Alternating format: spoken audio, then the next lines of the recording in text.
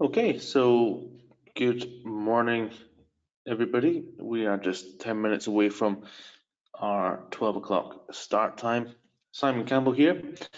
That's me on the slide. Uh, it is a few years older, I have to say that that that picture. Uh, I just have to disclaim that there's a few more grey hairs since that was taken. So uh, we're just a few minutes away from our start time. The round the clock trader working lunch. Thank you for joining me. I can see a few familiar faces here. Gordon, hello. Are you still in the east or are you back up north? I, I, suppose you're still where you are. Everybody in the world is still where they were last week or last two or three weeks, depending on where you are. Um, we're all locked down pretty much uh, the whole world. Incredible uh, events. Um, obviously not welcome event, but uh, incredible things happening nonetheless. Uh, but we have to carry on and just uh, keep doing what we're doing. I think it's the best way to uh, survive uh, these crises. There is being money made in the markets, and uh, I think we, in the industry, we're certainly seeing a, a pickup from new people entering the markets. obviously, sitting at home wondering how uh, they can go about um, shoring up the finances perhaps. Uh, jobs are in peril, businesses are struggling and uh, financial trading uh, is obviously popping up on people's screens as a, a viable option. Uh, of course, we in here generally cater to people that have already taken that first step into the markets uh, and are familiar with, with trading and familiar with uh, a lot of the terminology. But if, if you are one of these people that just getting started, um, please don't be afraid to ask us questions and uh, tell us to stop if you don't understand or follow what's going on. This is a, a, a new event. It's three speakers that we've got today. Uh, I'll be hosting it. Um, Steve Ruffley, as you can see there on the screen, um, there is a fantastic trader, been on many of my round the clock trader events. In fact, we were neighbours in the Channel Islands for several years as well. So uh, I know Steve very well. Uh, fabulous following. Uh, he's now residing on the other side of the world in New Zealand. Uh, so he's luckily still be able to join us uh, through the miracle of uh, the the webinars. Great to see you all here. Welcome. Yes, I can see every, everybody checking in. Um, so we're following Steve, Sunil Mangwani, and I haven't personally met Sunil, but we've worked online together before.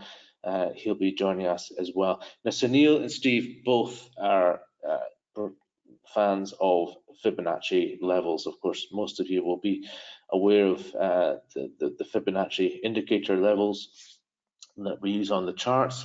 Uh, and so they will both be um, referring to these in their charts. Hopefully we'll be able to look at the live markets and uh, also get a taste of how they interpret these levels. Every, everybody can have access to Fibonacci levels, but it's how you use them. I think that uh, can make the difference between uh, getting in and out at the right time. We're also joined by Ben Kennedy today. Ben is the head of the UK for IRA Trading, uh, AYRA Trading. It's a trading community um, with all sorts of uh, advantages for traders to, to, join. And he will be talking today, telling you a little bit about the company better than I can, uh, clearly, uh, but he will also be focusing on risk management. They very much um, focus on the capital protection, risk management philosophies, look after your pot and uh, keep you in the game, as it were, to, to continue trading successfully. So um, first up, we'll be uh, going across to Steve uh, in New Zealand. I thought that was only fair so that we can let him get to bed at a reasonable hour. Uh, Steve, being being a new daddy, uh, any sleep is uh, gratefully appreciated. So we'll, we'll, let Steve kick us off um, at 12, uh, which is just another five or six minutes away by my clock. And then we'll go across to Ben, 12.30 to 1, and Sunil will take us from one um, up, up till two, so it's got a bit, bit, longer than half an hour. It also gives us plenty of time for questions and answers. Um, anything that you have, um, anything you're wondering about the markets, anything that you think our speakers can answer, please uh, don't be afraid to use that chat box. I can see a few, few of you already uh, making good use of it, which is great. So hi, Stephen, good to see you. Uh, Gordon, uh, still hot in Asia, that's good. Okay. And uh, yes, I just still have the hair. At some point, I'm wondering what on earth I'm going to do about uh, the hair. I've been in Spain for the last three weeks and we've been locked down for three weeks. And of course, nobody can get to the hairdresser. So uh, thank goodness I'm not using the webcam because I'm looking a little untidy uh, and I'm looking at the, the, citizens in the drawer every day wondering and wondering and debating, should I, shouldn't I? So I'll, I'll keep you updated on that. But uh, for the moment, I'll keep the webcam off, do us all a favor. Uh, but I hope you're all well and uh, yeah, surviving uh, lockdown, lockdown days and just witnessing what's what's going on in the markets. I've started to turn the news off um, myself, and uh, I think that's that's working because it was all getting a little bit depressing uh, and worrying. But of course, good times will come again, I'm sure, and uh, we just have to get through this. But nice to see the whole world pulling together like this, and uh, instead of the usual political squabbling that seems to have plagued us all for the last year, particularly in the UK with Brexit and so forth. We were all uh, very tired uh, of that. But of course, we would welcome that to come back anytime. Right now, I guess. Um, but uh, we we move on. The markets will uh, adapt and evolve, given everything that's going on, and uh, it's unprecedented times. I don't think most people can predict what will be happening, and uh, I guess this falls into the lap of traders uh, a little bit more kindly. Again, where you just respond to what is actually happening, what what what trends can we actually see? And uh, just just keeping an eye on that. So responding to what is actually happening is as opposed to trying to predict what will happen uh, in the future might be the best uh, the best policy uh, as we go forward so we're just a few minutes away i'm still waiting for steve to to join us uh, as usual he will keep me uh, sweating away until the very last minute then pop his head in uh, but it will be there. Sunil, I can see you already in the room, so welcome and uh, thank you for for checking in early. We'll look forward to, to coming across to you um, after Steve. Uh, I know we're, we're, we're Sunil and I are working together and uh, we are putting on a two-day workshop. It was planned for London. We did have a, a hotel room at Heathrow booked uh, but of course, that was just prior to uh, this crisis uh, that's landed on us all just now. So we've swapped that two-day workshop to being conducted online, and that's going to take place in uh, April, uh, the 8th and 9th of April, so Monday, Tuesday, and it's going to be 10 to 4 on each day. There will be a break for lunch, uh, but it will be the full two-day Forex workshop uh, that Sunil has been running successfully uh, around the world for many years, uh, London, Jakarta, Singapore, America. So he has had a, a lot of experience in the markets and he will be I guess giving us a little taste uh, of some of that today in his in his half an hour session. A little taste. Uh, if you want to find out more uh, about what he does, you just go to Sunil's website, fibforex123.com, and you can find out uh, much more about uh, Sunil there. But we'll tell you more about that uh, when we get started and give you the links um, for that. It's not a free event. Uh, clearly, it's two full days of training with Sunil. It's going to be limited, I believe, to 15 uh, people on the webinar. So it will be a, a very interactive, uh, I guess it will probably be mics off, uh, webcams and all that sort of stuff. Uh, so we'll, we'll look forward to that.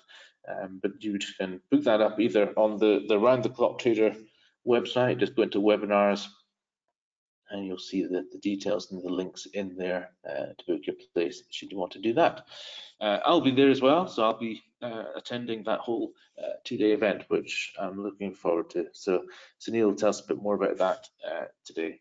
Uh, ben Kennedy, obviously IRA Trading. Um, I haven't known Ben for that long. We met for the first time in London just at the end of February, the London Trader Show.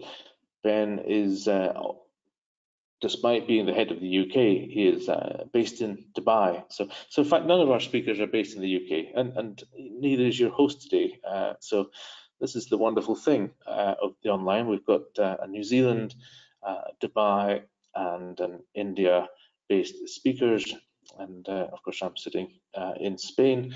everybody locked down in each of these countries around the world.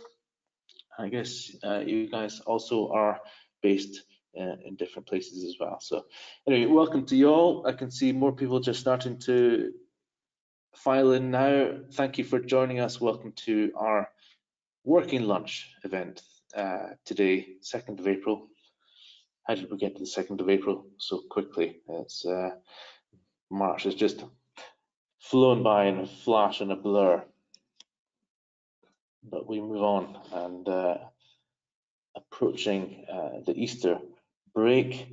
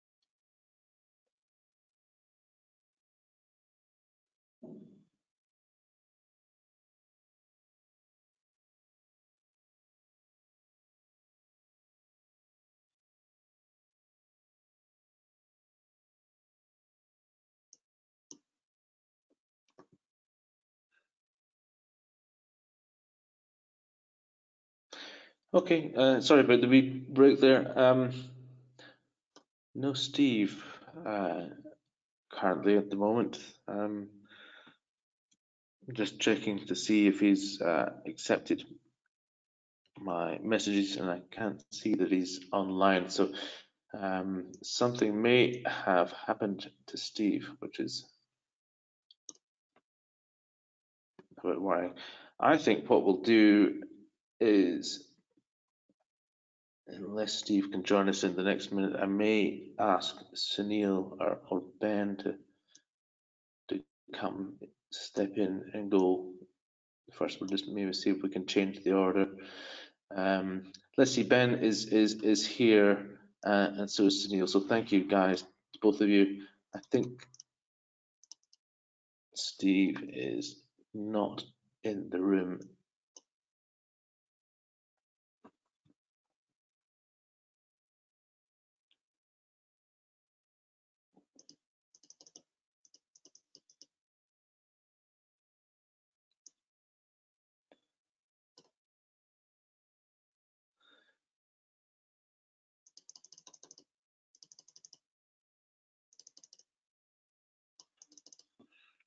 Okay, well that's that's unusual. Um, I know he normally likes to leave it uh, close to the wire, but he doesn't appear to be online. So maybe there has been uh, confusion with the times or or something like that. So um, should Steve come in, uh, we can we can always come back to Steve. But what we'll do is is we'll see if we can get started um, and just move ahead to, to Ben. So. I'll take the microphone off and say, uh, Ben Kennedy, uh, good afternoon. Hello, hello. How are you? I'm fine, I'm fine. Now, I'm coming to you early because you weren't expecting to, to start until about half past um, the hour, but Steve Ruffley doesn't appear to be checked in uh, at the moment. So would it be all right if we if we we sort of get get started with with your presentation first, and then we can go back yeah. to Steve. We start. Great, thank you. Well, Ben, I just to explain it to everybody here. We've got a nice crowd coming in. Um, welcome everybody. Way, yeah, welcome. Everybody's sort of filing in for our uh, to our round the clock working lunch. And, and I'll just explained it. We we just met recently. We met at the the trading show in London um, when you could still get together and do do shows without social distancing and things. And good old day. It was was a great day. Um, you, and it's interesting. Tell us maybe maybe what we should do is actually before we get started, let's share the screens, do do the housework, uh, and then and then we can find out a little bit more about uh, the, the the community of traders that, that you work with uh, and what you do. So what I'll do is, uh, I don't know if you've used GoToWebinar before, but it's a, it's a very simple. I just pass you the the virtual mic as it were, and uh, that will make you the presenter. So I'll do that now, and uh, we can go across to. Oh, Perfect. oh,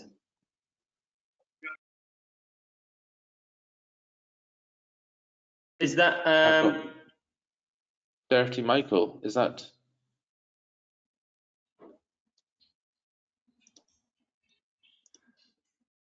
Sorry, I think I might have pressed the wrong, made someone else the presenter there. So it should be asking you to accept the, there we go. there we go, that's great. Now I can see, uh, your slide, welcome to, uh, how do I pronounce it? Ira, Ira? Aria. Aria, of course, now. now Aria. we- So can Yes. everybody else see Ben's screen, just to uh, use the chat box, give us a, a nod that you're looking at the AYRA uh, platform slide, it's a black slide. Um, and you can hear, obviously, uh, Ben, great. And I'm great, thank you. Okay, so Ben, as I say, we've just met, um, you explained to me oh, what, what you do, and I thought this is interesting. I'd like to tell everybody, I'd like everybody around the here to, to learn a bit more about um, what you're doing because I initially I, I, had it down wrong. I was like, oh, so you you must be a broker then. You're like, well, actually, no, we do an awful lot more um, than that. Based based originally, I think, created out of France by some French traders. Is that right? Yeah, yeah, along those lines. So, so where it was that um, that, that AYRA has been born from is that uh, it's from a group called Green Bull Group. Uh, now, it's important to know that, that these guys are focused on three or four key areas. So that's um, real estate, uh, uh, financial education, and obviously trading. That's the, the, the now within this, kind of aspects, um, where it was that guys decided to, to, to create and they could use for trading was that you know we've got the largest real estate education platform in France, very large and, and obviously very successful. But we were at an, uh, an event and um, somebody said that 80% of trading is all around psychology. But then they spent 80% of the time not talking about the psychology, but talking about the signals, the strategy. And we thought, well, why is no focusing on the psychology and why has no one come up with anything? So then obviously AYRA was, um, after eight years of research and development and, and now we've obviously uh, brought it to market after using to facilitate our own money management.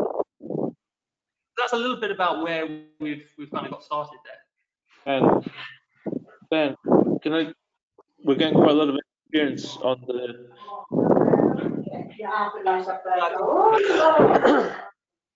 I'm not. It sounds like we've got a party line or something.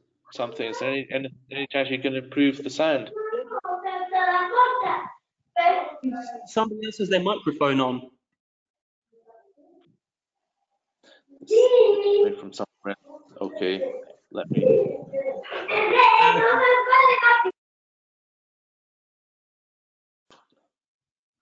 Okay, so could everybody just have a check?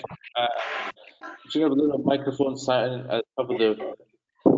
If it's that means your your your microphone is on. You press it uh, and switch it back. I think that somebody's. Uh, it may be my fault. Um,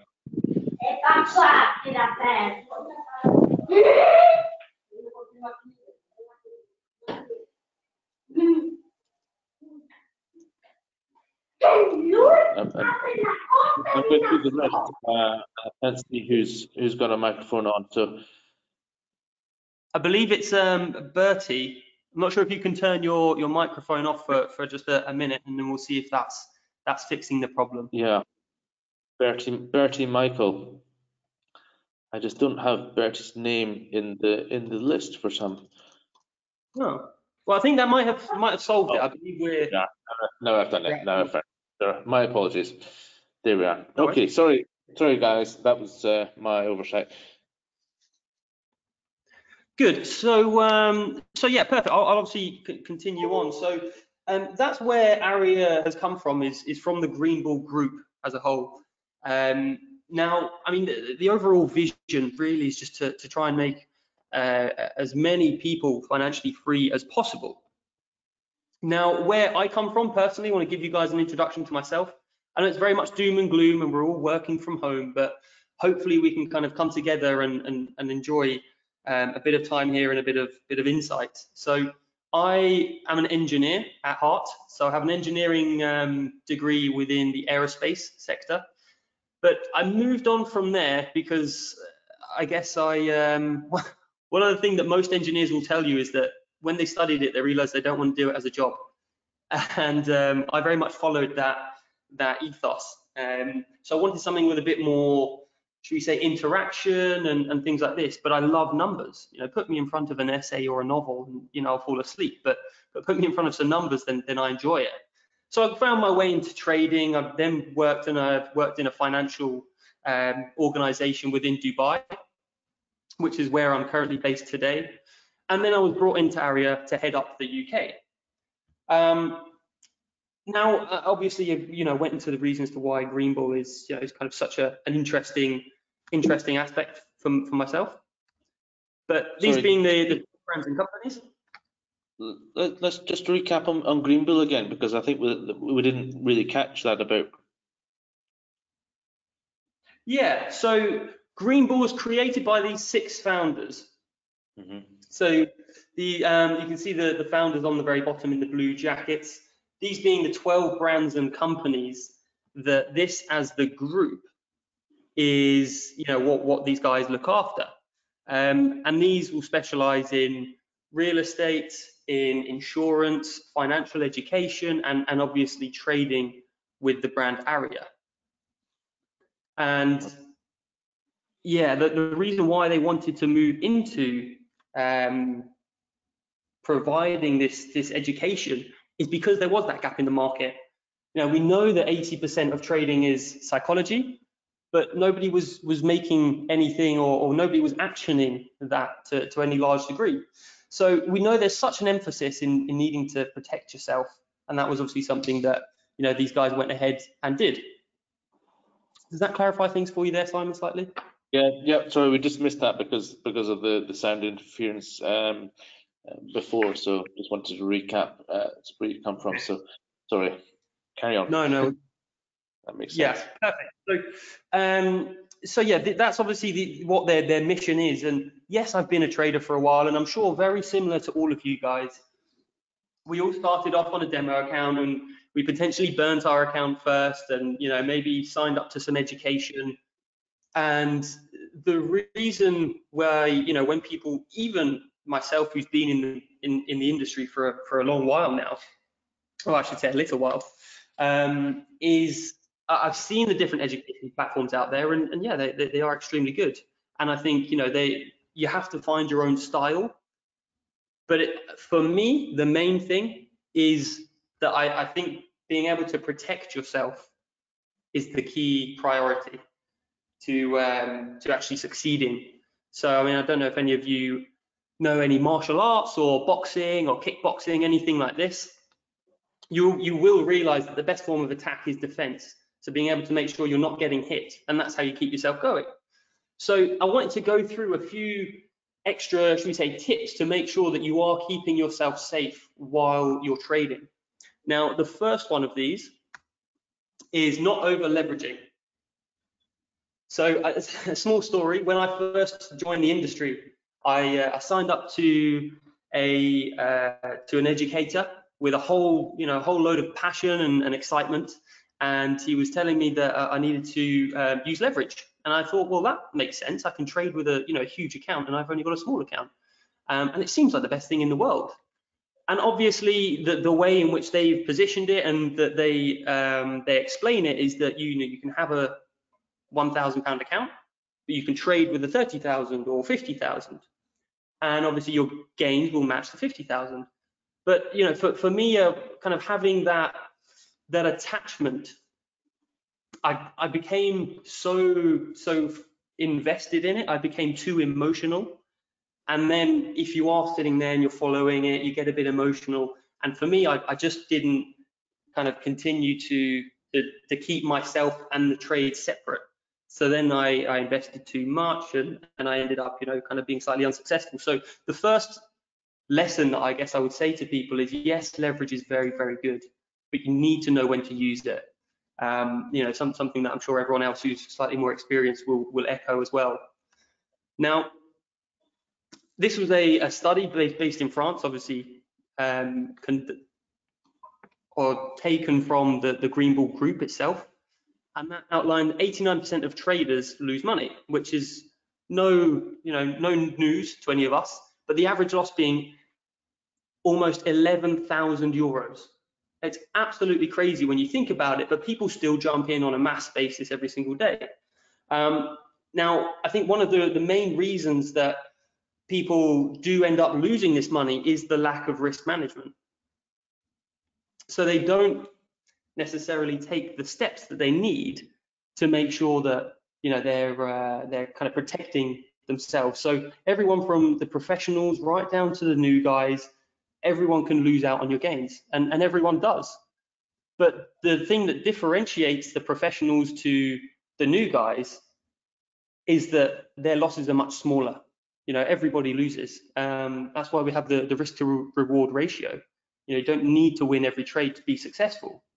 But by kind of having your number one job is to protect that capital um, in trading i think it was um, warren buffett came up with a very um, a, very interesting quote which was that in, in investing he's not looking to make money he's just trying not to lose money and that's why he does so much research. That's why his fundamental analysis is just so good.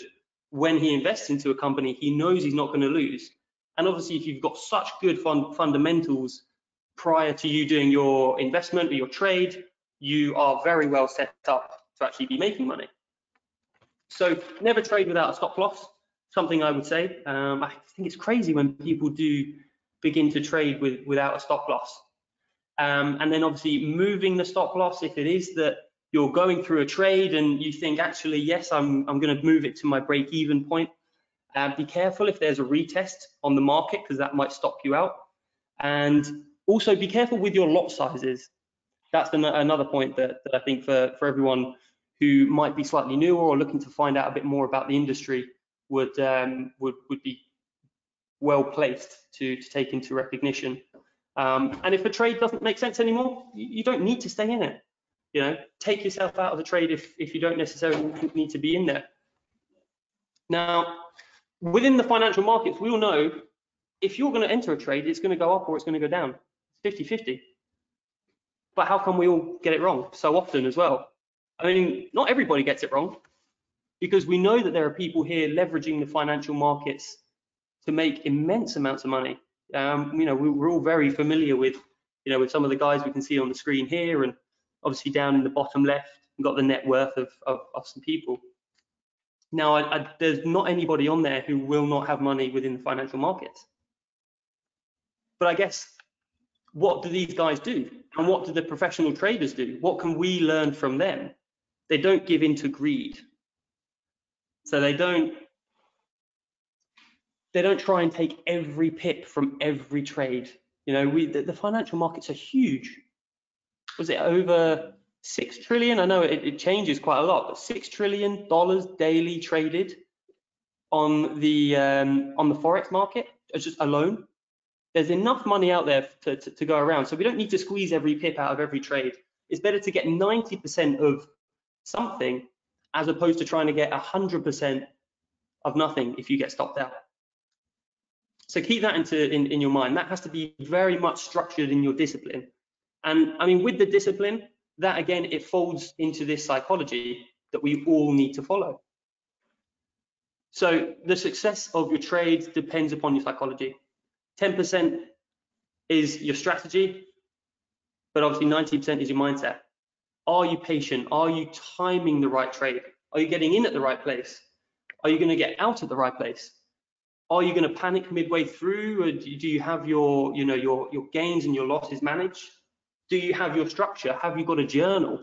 These are all vital tips to, to obviously make sure that you're understanding where you are currently, where you're going to be next, and, and what you can keep doing to, to moving forward.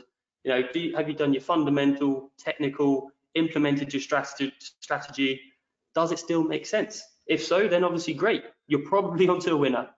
But uh, but if not, get yourself out of there. So the next thing that I, I, I find quite a lot, you know, when I'm speaking to a lot of traders, because you know, for myself, I, I speak to a lot of uh, educators in the space, which is a great opportunity. Absolutely love it. But then in turn, I speak to a lot of retail traders. Now, the retail traders, unfortunately, just like myself, we all get buyer's remorse. It might be that you go and you, you know, you think, oh, I just need that new phone, or you know, I need to get those new shoes, and you buy them, and then something else crops up, and you think, oh, if only I could return it. Um, you know, you start to, to, to, to think, should I have done that? But if you're trading, you've put in your, your strategy, you need to trust the process, trust the system, um, especially if you are doing a swing or a day trade where you need to be in the trade for, for longer than a scalper. So trust the process that you do have, but make sure obviously you, you, you kind of have that, that process set in there.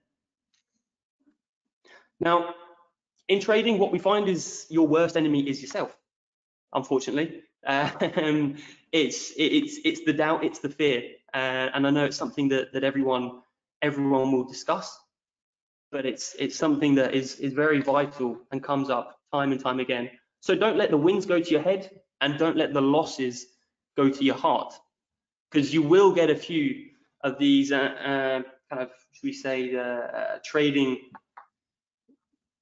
graph looking like this, where you know the gains go up, they go up, and it's only like stairs, but your losses are very big, very big.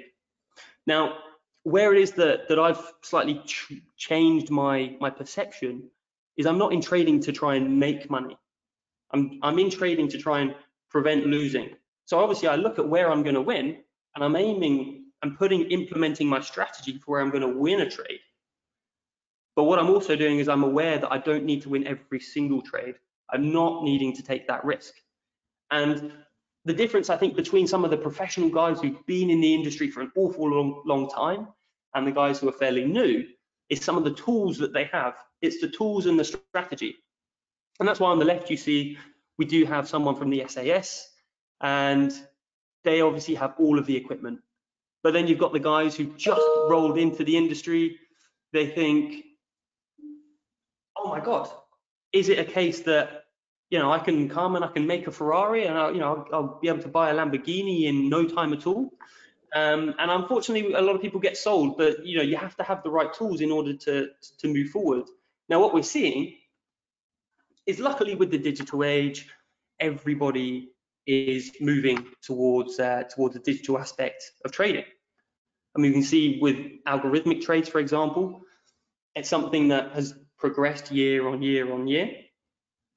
And it's not just the retail guys, obviously with everything moving onto YouTube or Instagram or these digital platforms, it's also the big banks. So they're looking, you see Goldman Sachs, they had 600 traders.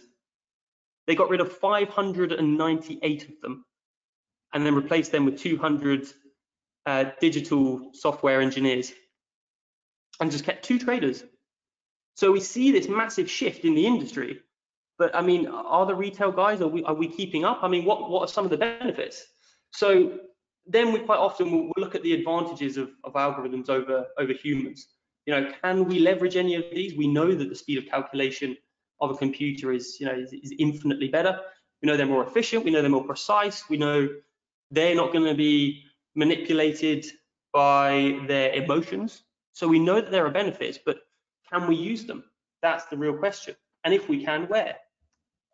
So instead of having the standard chart of gains that we see on the left, with the capital slowly climbing but then massively dropping, if it is that you have some form of automation or you're able to, to kind of leverage these protective measures, then we know that you know we can protect our, our gains. That's by putting in those systems that I mentioned earlier, whether it be not giving into greed, making sure that you're managing your risk. This is all part of, of what will make you a very successful trader. So just to give you a bit of, uh, of overview um, for AYRA, you know, part of, of what, what I bought into the, the vision and, and the brand of everything was that there are obviously there's identifying the trend. That's what you need to do as a person. You need to do your research. You need to make sure you're getting into the right trades. But then all the things that the computer can do, optimizing an entry point, actually executing the trade, calculating all of that. You know, how big is my risk? What's my lot size? Am I sufficiently covered? What's my liquidity and my margin? You know, I don't need to think about all of that. So that's obviously why you know, AYRA is extremely useful in helping people progress to become professional traders. Um, now, one thing for, for anyone who is looking to, to be slightly more professional, you need to draw that comparison between what do the professionals have and what do you have, and obviously how can you adjust yourself and start some of your expertise or tools to match them.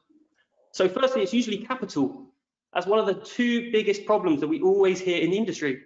Um, firstly, it's that people don't have enough discipline, and you know we we we get too we get too attached emotionally, or, or whatever the case may be. But then secondly, we don't have enough capital. Um, and so in order to, to, kind of remedy that, what we've been able to to do over at um, Green Bull Group is that we've opened up investment to retail traders, um, the guys who who are you know top of the top of the class, and who not necessarily have a big account, but just who are consistent, people who are making successful trades. We want people to do well. So invest up to a million dollars. Um, and that's a pot that's, that's very much up for grabs. So within the community, um, I wanted to put this on here because, you know, for you guys who, who are interested in risk management and realize that 80% of trading is psychology, where are you going to find some of this this content? You know, you look around, you'll see endless amounts of signal providers, endless amounts of um, strategy providers. And yes, some of these guys are amazing, and you can't win trades without having a great strategy. But if you do want to talk about some psychology and some discipline and, and how to emphasize that aspect, where do you go? So we have the hashtag We Love AYRA community, um, which is great, and also We Love AYRA World, which is the, the worldwide community and then some of the results during this crisis, because I mean, with the markets dropping unbelievable amounts within a very short period of time, this is where, you know, we've had so many people come to us and, and ask about, well, if it is that, you know, the, obviously the, the markets are dropping, how can I protect myself? So these are some of the results of the, you know, the community who, who've been fortunate enough to, you know, to, to be able to, to work with us and make sure that they're protecting themselves. Um, and then if it is you're, you're looking for more content within the, the protection aspect and the discipline, making sure you're becoming a, a slightly better trader, you know, you can look at the traders rooms or the monthly master classes that we have. Uh, and obviously I can send you guys over all the, the specific links for that. Working alongside some of the pros, um, having already been in different magazines because of this very different aspect, it's a very different approach that I think um, we're, we're, we're, taking, which has been something that's you know, very, um, very, very much appreciated by the community. So we would invite you to um, to come and join the largest community, Facebook, Instagram, um, YouTube. Obviously, we'd love to hear some of your different takes on how it is that you guys try and avoid risks, even how you become a slightly better trader yourself. Because one thing we noticed, and we know that within everybody in this webinar, everyone's going to have a slightly different mentality. One of you might think, oh, actually, you know, I only focus on trading in the morning because I know that's, you know, when I'm best. And the reason I'm best is because I apply X, Y, Z. So we want to make sure that everyone can trade and uh, and be able to help each other with as much of this insight as possible. And obviously, anybody who who is looking to have a conversation slightly further and understand exactly what it is that we do, then I'd be more than happy for you guys to ping me over an email or you know pick up the phone. Um, but yeah, there's there's my um, website and, and, contact details for for those of you who are looking to um, just expand the brain a little bit more. Fantastic, Ben. Thank you. Uh, that view, that view behind you out the window is not not not London, obviously. That's you're in you're in Dubai. I'm based in Dubai. Yes, I do travel into London quite often. Um, slightly hindered recently, I will say. um, Yeah. But yeah, that, that's my so that's a French mobile number. Um, but obviously, those of you wanting to reach out can can reach out on my email, and, and I can give you a call back. Do you do you have the platform running at the moment? Any chance we can have a look at the platform? Uh, oh, good question. Um, let me have a quick look for you. We don't, uh, just I I can see a couple of questions coming in. Uh, some of them Do you want me to- relate to. Yeah, I think we just need uh, to, a little bit of explanation of what. So this is the AYRA platform that we're looking at now. Yeah. Great. So um, for those of you who recognize this platform, you will see it as being um, MetaTrader. This is MT4. And um, I've, I've entered a, a position here, but let me just move on to the FTSE 100, for example. So you kind of load this up, very much similar to, to what you guys are all doing. I am using a VPS, which is a virtual private server. So that gives me access to this on my phone, on um, on my computer, on my tablet, anywhere in the world.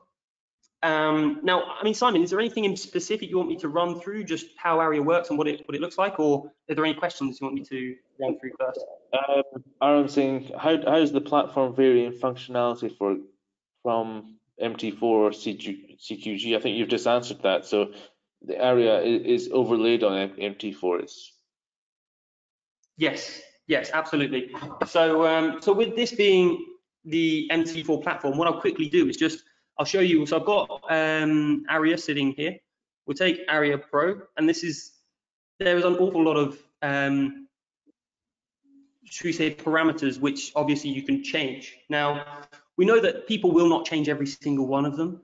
We know that people are going to use this for their specific strategy. Um, and, you know, what we've seen previously is when somebody is let's say an educator, and they have a specific strategy they teach all of their clients. They say, well, look, if you are using AYRA, you would like your entry type, which you can customize here. You can customize um, your, whether you want a, an entry pip buffer. One thing that I will say you cannot customize, and this is absolutely vital, is the max loss daily. So we preach very, very much about the psychology, about positive psychology and discipline.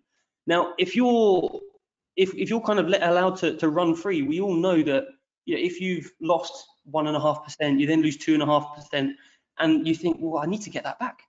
So you do one more quick quick trade. You know, think, oh, the, the position's gone against me. Let me just go against, and I'll flip my position.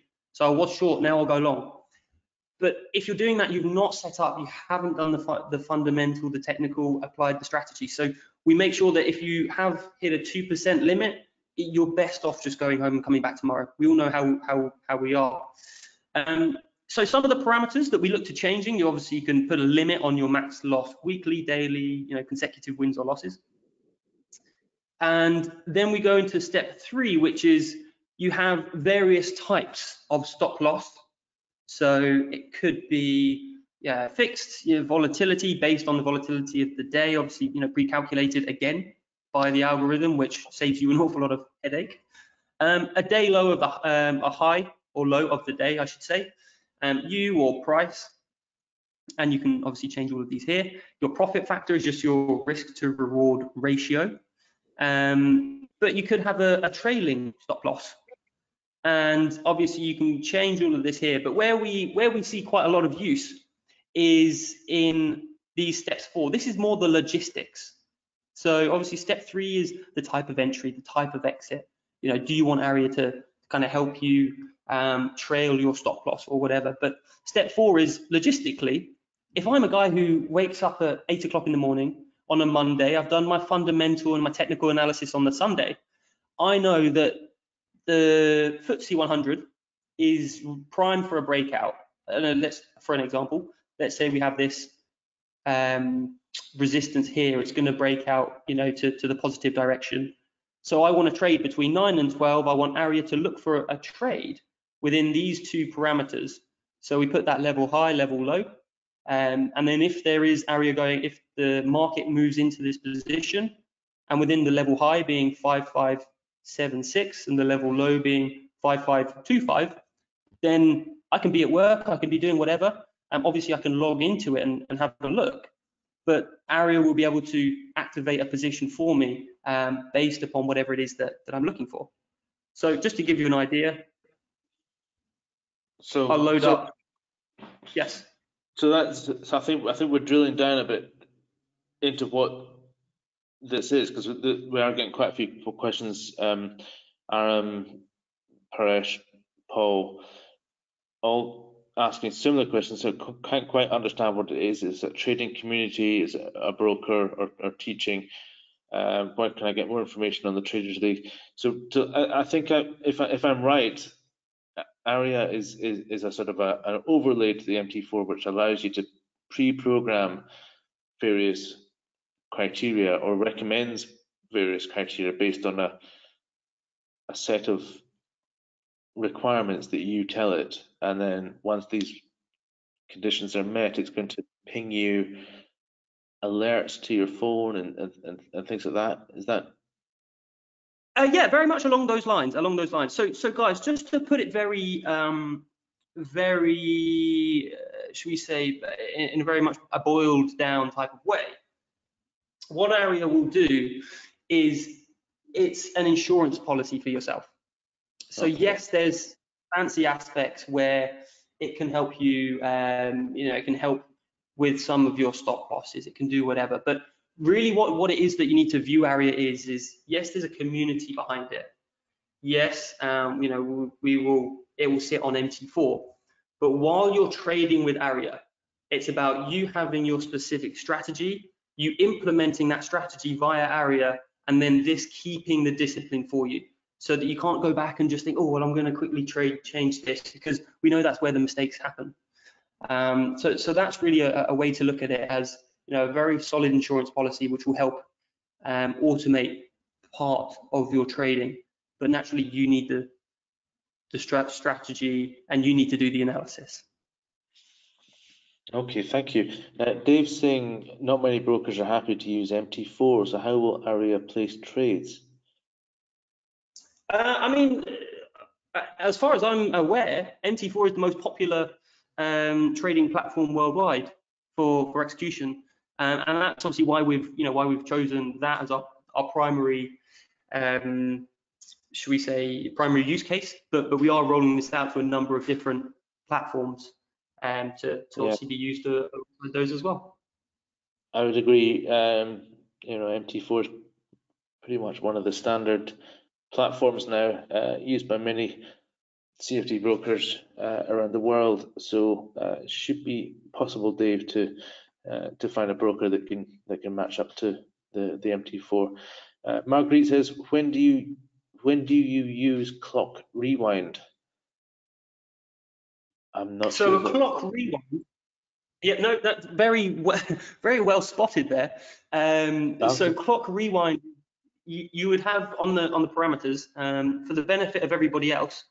I will click back into the parameters and, and show uh, everyone exactly what um, what was found. So clock filter, if you enable this, it will, like I said, if you are looking for a trade within these, these certain parameters, and I appreciate it's quite in depth, but um, the clock filter would be if you have highlighted this and this as the areas you want to find a trade within.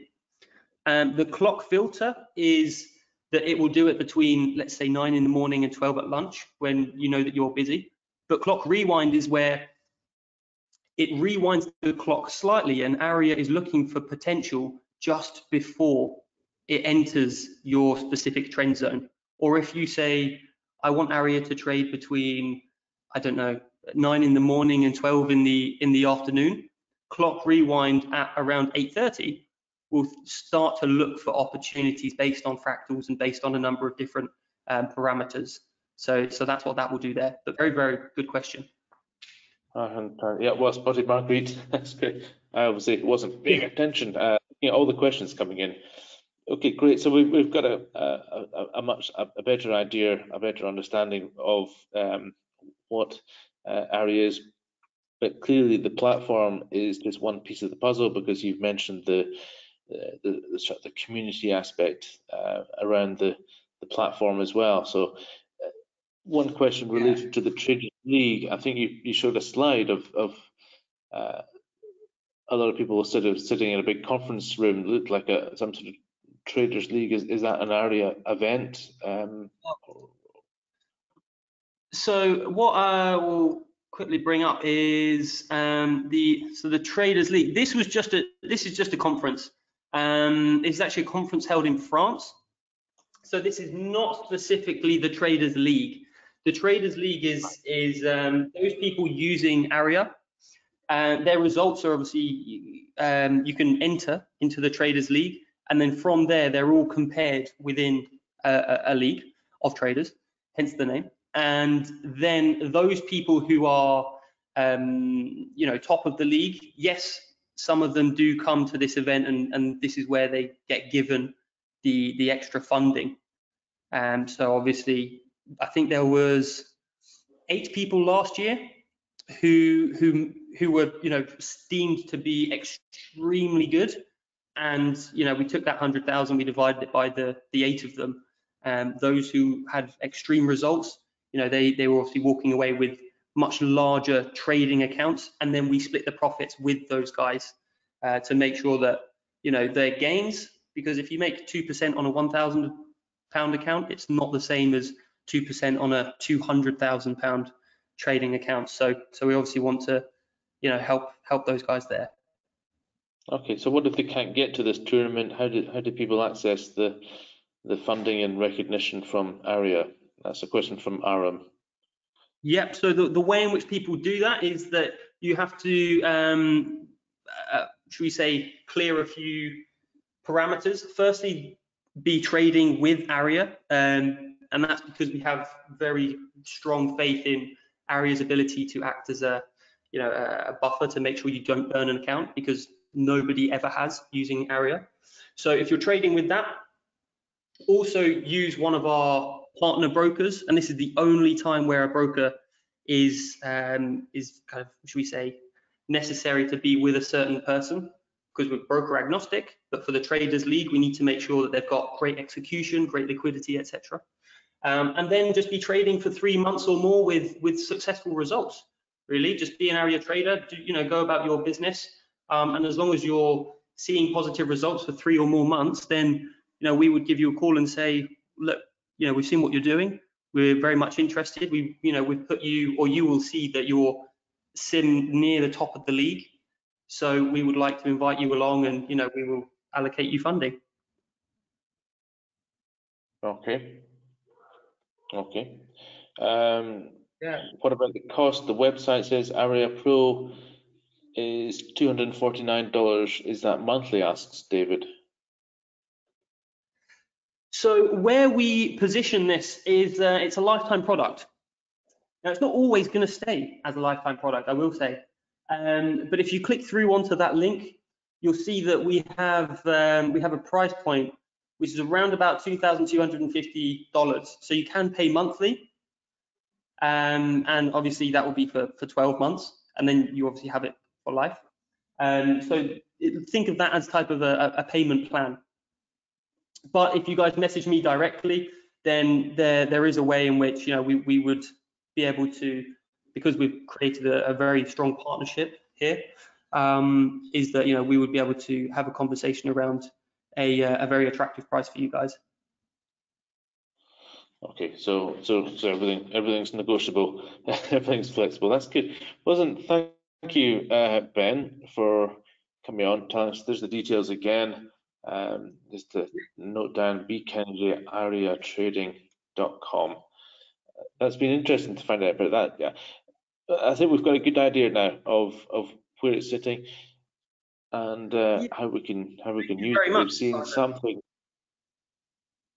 Yeah, it's it's our pleasure. Uh, sorry for drop throwing you in, uh, the deep end. We still haven't found our Steve Ruffley. Um, I'm sorry to say, I've been messaging him uh, while we've been on air, but uh, something's clearly come up. This is not like Steve to uh, to not be available. Um, but nonetheless, what we'll do is we'll, we'll move on to Sunil after this. But Ben, thanks so much for, for joining us uh, today. And uh, I think we'll, we'll try and do something else uh, later as well. We said maybe we could do something later, maybe with somebody that's trading with AYRA already, uh, something like that. But we'll certainly try and work out something else. But it's been great to, to have you here. Just a quick introduction to everybody um, that AYRA is out there and uh, you know where to go to to contact Ben if it's something you'd like to to find out more about. Um, Absolutely. Look forward to, um, to obviously hearing from you guys, and uh, and I'd recommend you check out some of the community as well. And we'll uh, we'll, we'll catch up very soon. Will do. Many thanks, Ben Kennedy, AYRA Trading. Okay, I will take the presenter role back. Um, we'll go. As you heard, uh, yeah, no Steve Ruffley, uh, which is a great shame. We've been chatting uh, most of the week, uh, Steve and I.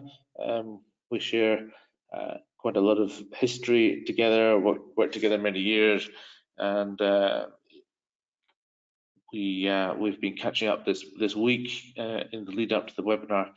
Um, but something's something's popped up, and he's not able to to join us today. He may well still surprise us. Um, but until he does, what we're going to do is we're going to skip straight ahead to our next speaker. Uh, maybe he's fallen asleep with the baby. Uh, Gordon, I think you you probably hitting the nail on the head there. so, uh, yes, we were uh, Jersey boys for some years. Indeed, uh, pure coincidence. We ended up living just a, a mile apart from each other on the island of Jersey uh, for all these years. Sunil, I am going to unmute your mic so we can say good afternoon to you. Sunil Mangwani. Hey, good afternoon, everybody. First of all, uh, voice, audio, okay? Can you hear me? We can, yeah, I can hear you. This is great. I haven't yet given you the, the presenter role, uh, but yep. just wel welcome you in. Um, we're a little bit earlier than planned, as you as you're hearing. Our our, our speaker Steve is not make it that uh, good that uh, you are waiting there uh, in the wings, so to speak. So that's begin. So so we've got a bit longer um, with with you, which is great. So maybe we can get into uh, a little bit more of the the Fibonacci um, strategies that, that, that you talk about. Now, I don't know if you caught before we started. I did mention to everybody that you and I are putting on a, a two-day event um, coming up in just about seven or eight days uh, and it's going to be a webinar event. It used to be the that we planned to do it in London at, at the Heathrow Hotel, but we're now because of the the lockdowns, obviously doing it by webinar. It's a full two-day event. Maybe you can mention that uh, just as we go through. Um, yep. But clearly, it'll be something that we're going to get just get a little taste of of, of how you trade. But uh, as I pass the presenter role to you, um, maybe you tell people a little bit about yourself and you've been trading um, for quite a while now, uh, but also been educating people around the, the world, doing these various um, workshop programs.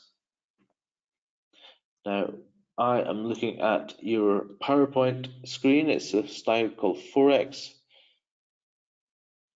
Yep.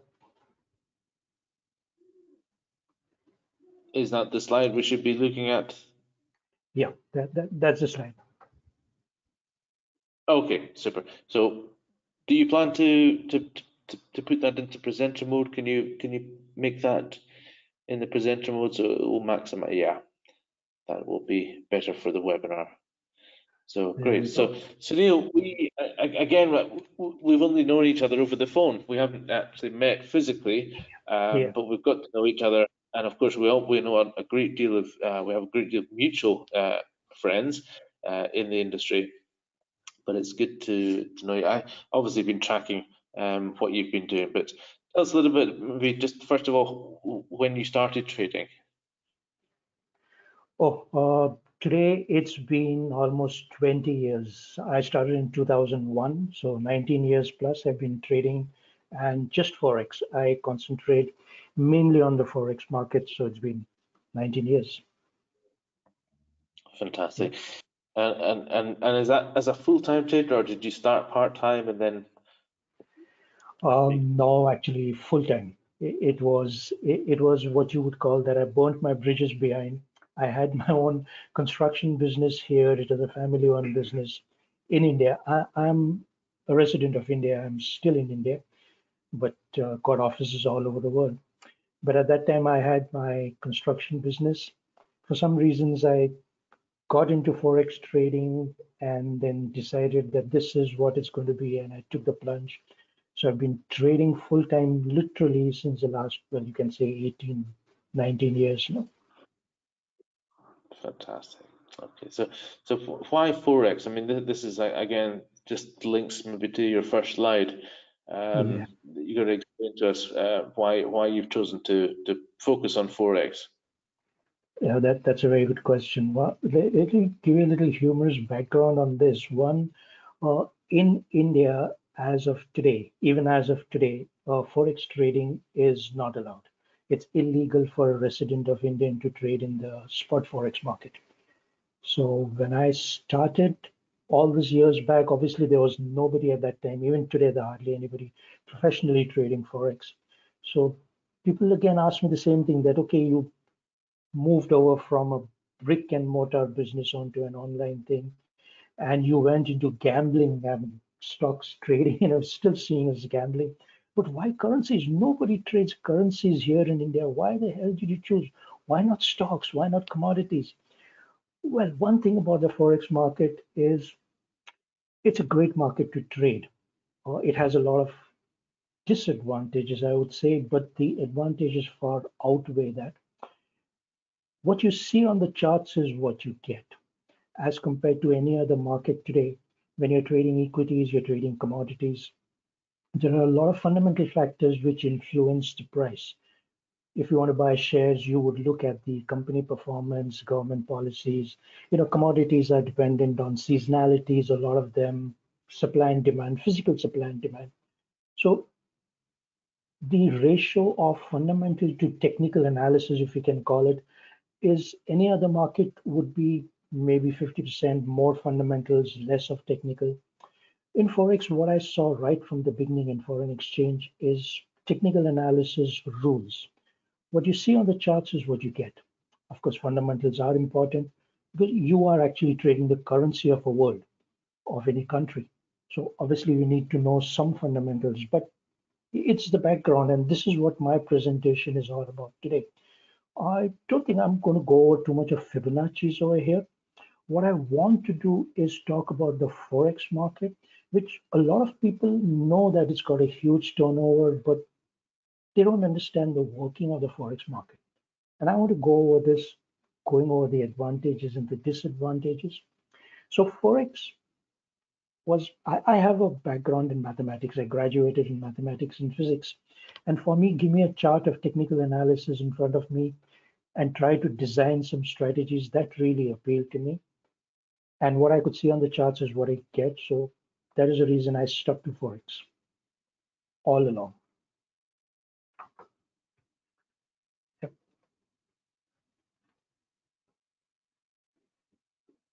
Sorry, Simon, you there?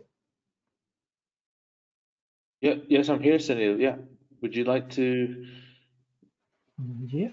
Uh, it's only recently that uh, in the last couple of years, maybe that I've moved over to certain commodities also because we do have a very strong correlations between currencies and commodities. But it's the forex market which, because of the turnover, you have opportunities coming over. It's purely technical analysis. And the way it works, which is what we will be going over, gives it a huge advantage. At the same time, as Ben went over right now, it's almost 90% of the people, retail traders, I would call them, individual traders like you and me. We are retail traders. We are not institutes. We are not banks. 90% of the retail traders lose money in this business. And th- this is what I want to talk about today is why do people lose money?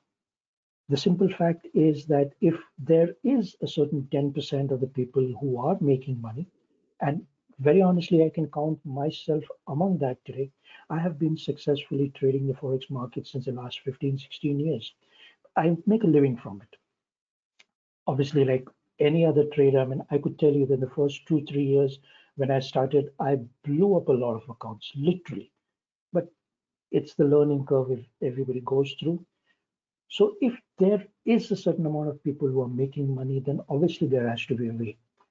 And it was all over in my years of understanding what made me successful that I started coaching people, telling them this is right, this is wrong. And one of the main things which turned my trading around completely was it, it was in London. Now, I, I, did have a company in London called the London School of Financial Trading, which we kind of closed on about three, four years back because I moved to the US for a period of about three years because I just wanted some exposure to the US market. But I had been running the London School of Financial Trading right from 2011 onwards. And it was based in, in London, in Acton. We still have a small office in Acton over there. I used to be a regularly, I used to be six months, I used to be in London. I was a regular speaker with all the expos, very specifically the World Money Show every November. I mean, I was a standard speaker over there.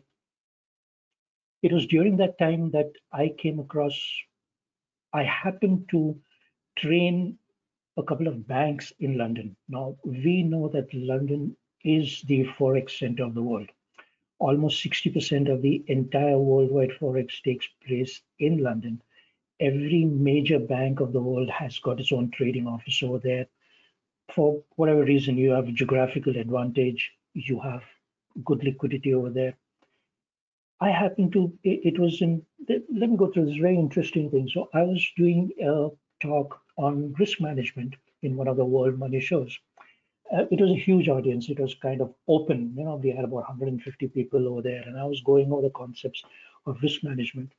At the end of it, there was an elderly gentleman who approached me after during the question answers, and he said, "I really like your concepts of this risk management, and would you mind doing a session on risk management for my traders?" I said, "Yeah, sure." Then who are your traders? So he says, "I'm the head trader for Bank of America."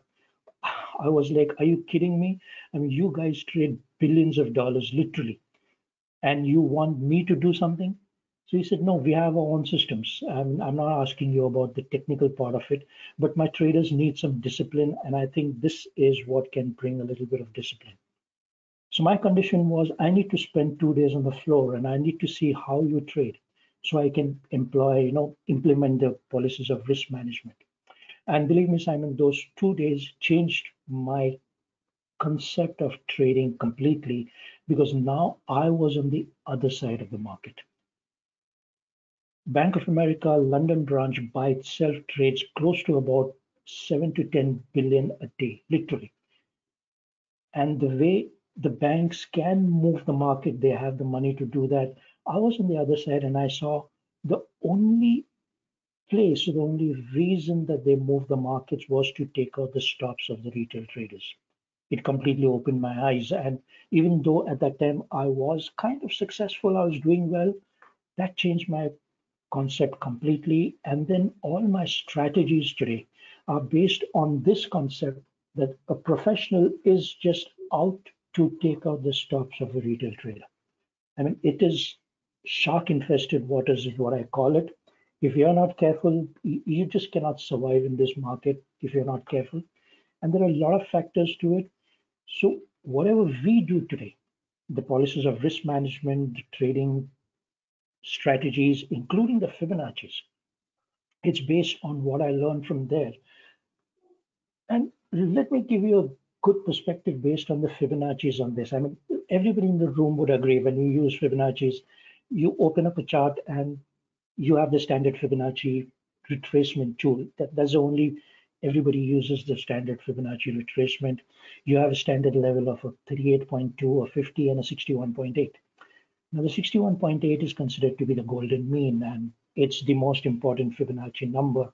So the way it works, I look at it, it's like a herd mentality, or you know, everybody's looking at that level. So let's say you're looking at price to come to a support level of a 61.8.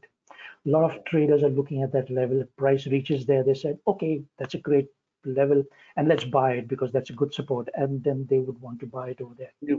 Should we be should we be looking at a chart at the moment, or are you just? I'm still looking at the forex slide. Well, you know what? Let, let me go over this slide. Or uh, let me start off.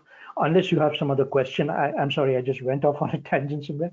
If you have some other question, No, sorry. I just worried that I, I was supposed to be looking at a slide or something. It Yeah, sounded yeah. like you were referring to a chart. So what I want to do is go over the background of how the forex markets work with the slides, and then we'll go over the Yeah. charts. I want to go over the charts and talk to you about how these people trap the traders. Would that be okay? Okay, great, thanks. Okay. All right, let, let me start off with the slides. We'll just go over the slides quickly. It's not much, but it's important to understand the psychology behind it. So Yeah. Forex, it's got a huge turnover of about 6 trillion a day. It's a tremendous turnover, more than the combined turnover of the London and New York stock exchanges put together. But there are two little known facts about the Forex market, which it's knowledge out there, but people just don't look at it. The first thing is almost 60 to 70% of this entire turnover is done by banks. Now, these are the statistics. So this is every year they have the surveys and they have the liquidity providers. So this is 2017. You can see that there's a group of 10 banks and the market share is close to about 65%. You can see that they have a group of 10 banks. This is 2017. Uh, you have this Euromoney does this FX survey every year. 2018, again, the same banks, some move up, some move down. Liquidity providers, Mhm. i- it's what it is. And 2019, this was the last one. The total again remains the same, about 60 to 70% of the total market. Now, when we talk about liquidity providers over here, you're talking about JP Morgan, Deutsche Bank, Citibank, UBS, Bank of America, Goldman Sachs. The way Forex works is there is no central exchange for Forex, and we all know that. So you're dealing with a broker. Now, your broker takes the quotes from these liquidity providers. If you have a very good broker, he's got good liquidity providers, any one among these 10. Unfortunately, in Forex today, there are a lot of brokers who are unscrupulous. So they would have liquidity providers, not among these, but some small banks, so the liquidity would not be all that good. But it's just the way Forex works.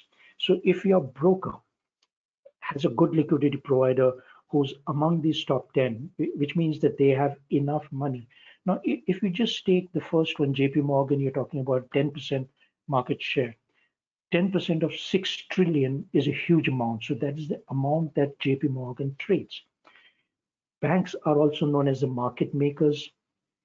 The simple fact about Forex, let, us put it as currency trading. Traditionally, it's always been the banks who have been trading it. It's only in the last, actually 20 years. 2001, when I started, I remember Forex had just opened up for the retail traders. There were these brokers who had started giving out accounts. Otherwise, it was always the domain of the banks to trade currency markets. Retail traders were just not allowed unless you had a huge account and Citibank allowed you to open an account with $100,000 and trade something. It was always the domain of the banks. Today, if you and me, we want to change currencies, you know, we travel to another country, there are companies who are into expos, they change currencies, you will go to a bank. You and me, we might go to an exchange provider. The exchange provider ultimately goes to a bank. So the bank is the entity that trades currencies. They are the ones who create the demand and supply. And I'm going to go in, into this a little more in detail. So this is one that it's your banks who are controlling this market in a way. The second important point out of the total 6 trillion turnover, about 70% of this trading is non-deliverable, which means it's traded for speculative purposes. So more than half of the 6 trillion done trading today is for speculative purposes. Now, when we talk about speculative purposes, let's differentiate between what a genuine purpose and what a speculative purpose. So genuine purpose is, you know, like I said, companies who are into exports, they need to exchange currencies, they need to export, import. You and me, we change currencies. Genuinely, we need currencies. That that's classified as genuine forex trading. That's for institutional purposes. But today, 70% is done for speculation. So it is when the market opened up to the retail traders, it was banks who started doing more of more speculation. They were always trading for their clients. The banks always trade for their clients, obviously. But they started more into speculation, to be very honest, because they saw that a lot of retail traders who come in who just don't know what's going on. And because again, Forex has got this uh, impression people have that it's a 24 hour market. You know, I can, it's got a huge turnover. So I can trade anytime I want. I can have liquidity anytime I want, which is not a fact. The question you have to ask yourself is if almost 70% of this trading is done for speculation, what is the reason for them to take a trade? So is this speculative trading based on fundamental factors? Is it based on technical factors? Well, let me tell you, primary trading decisions by the banks, and again, I told you that I've been on that side and I've seen it, is to take out the stops of the retail traders. That, that's how they move it.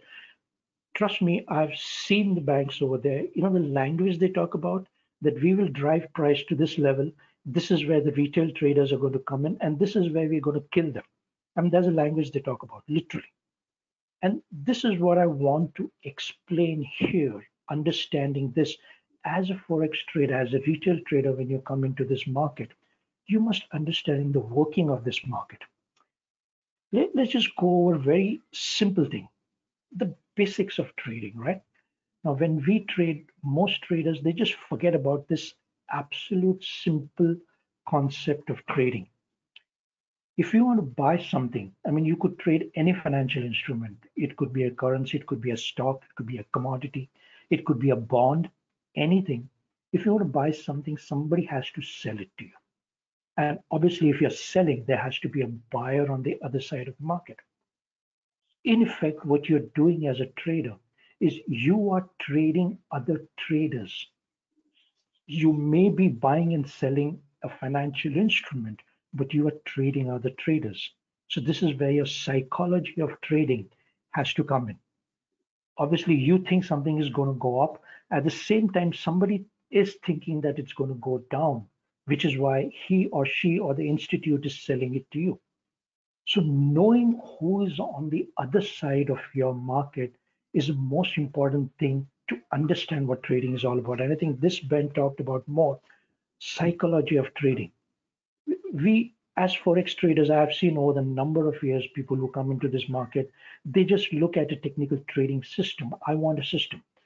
But forex trading or any kind of trading is much more beyond the system.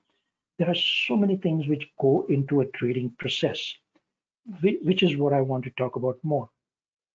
So in forex, when you are trading forex the other side of your trade most likely is going to be a bank because they are the ones who are trading almost 70% of the market right i've put together a couple of charts over here and let me explain this now basics of trading here so i've deliberately chosen this chart it's a daily time frame because this had a downtrend it had an uptrend then it had a downtrend, so I wanted to go through this process. Trading is fractal in nature. What applies to a daily time frame will apply to a one minute time frame. It's just the nature of the market is what we call as the law of the charts. So just forget about the time frame that you're looking at on the chart. This could well be a five minute chart. It could well be a one hour chart. It's the same concept anywhere. So first of all, anticipatory sell orders, anticipatory buy orders. Now, the way currencies work, especially in the forex market, I mean, it applies to any market, to be very honest. But since we had, I, I want to talk only about the forex market over here. Is the banks have got these anticipatory orders at certain levels, right? We we can call them demand and supply levels. So even before price reaches there, a bank has already placed an order. Now, if you're looking at, let, us just talk about this uptrend over here, right? You have this uptrend. When price starts moving from here, there's already some sell orders placed here by the banks. Now, this serves two purposes. One, they have a target knowing that they need to drive price all the way over there. That's where they make their profit. And second, they need to create the demand in the market. First, let's concentrate on one thing. Let's start with the basic. Now, your actual trend starts from here. Uh, you can see my mouse, I'm, I'm right at the bottom of it over here. Your trend starts from here. Now, for whatever reason, I would say that if the downtrend ended over here, obviously there were already some buy orders placed over here.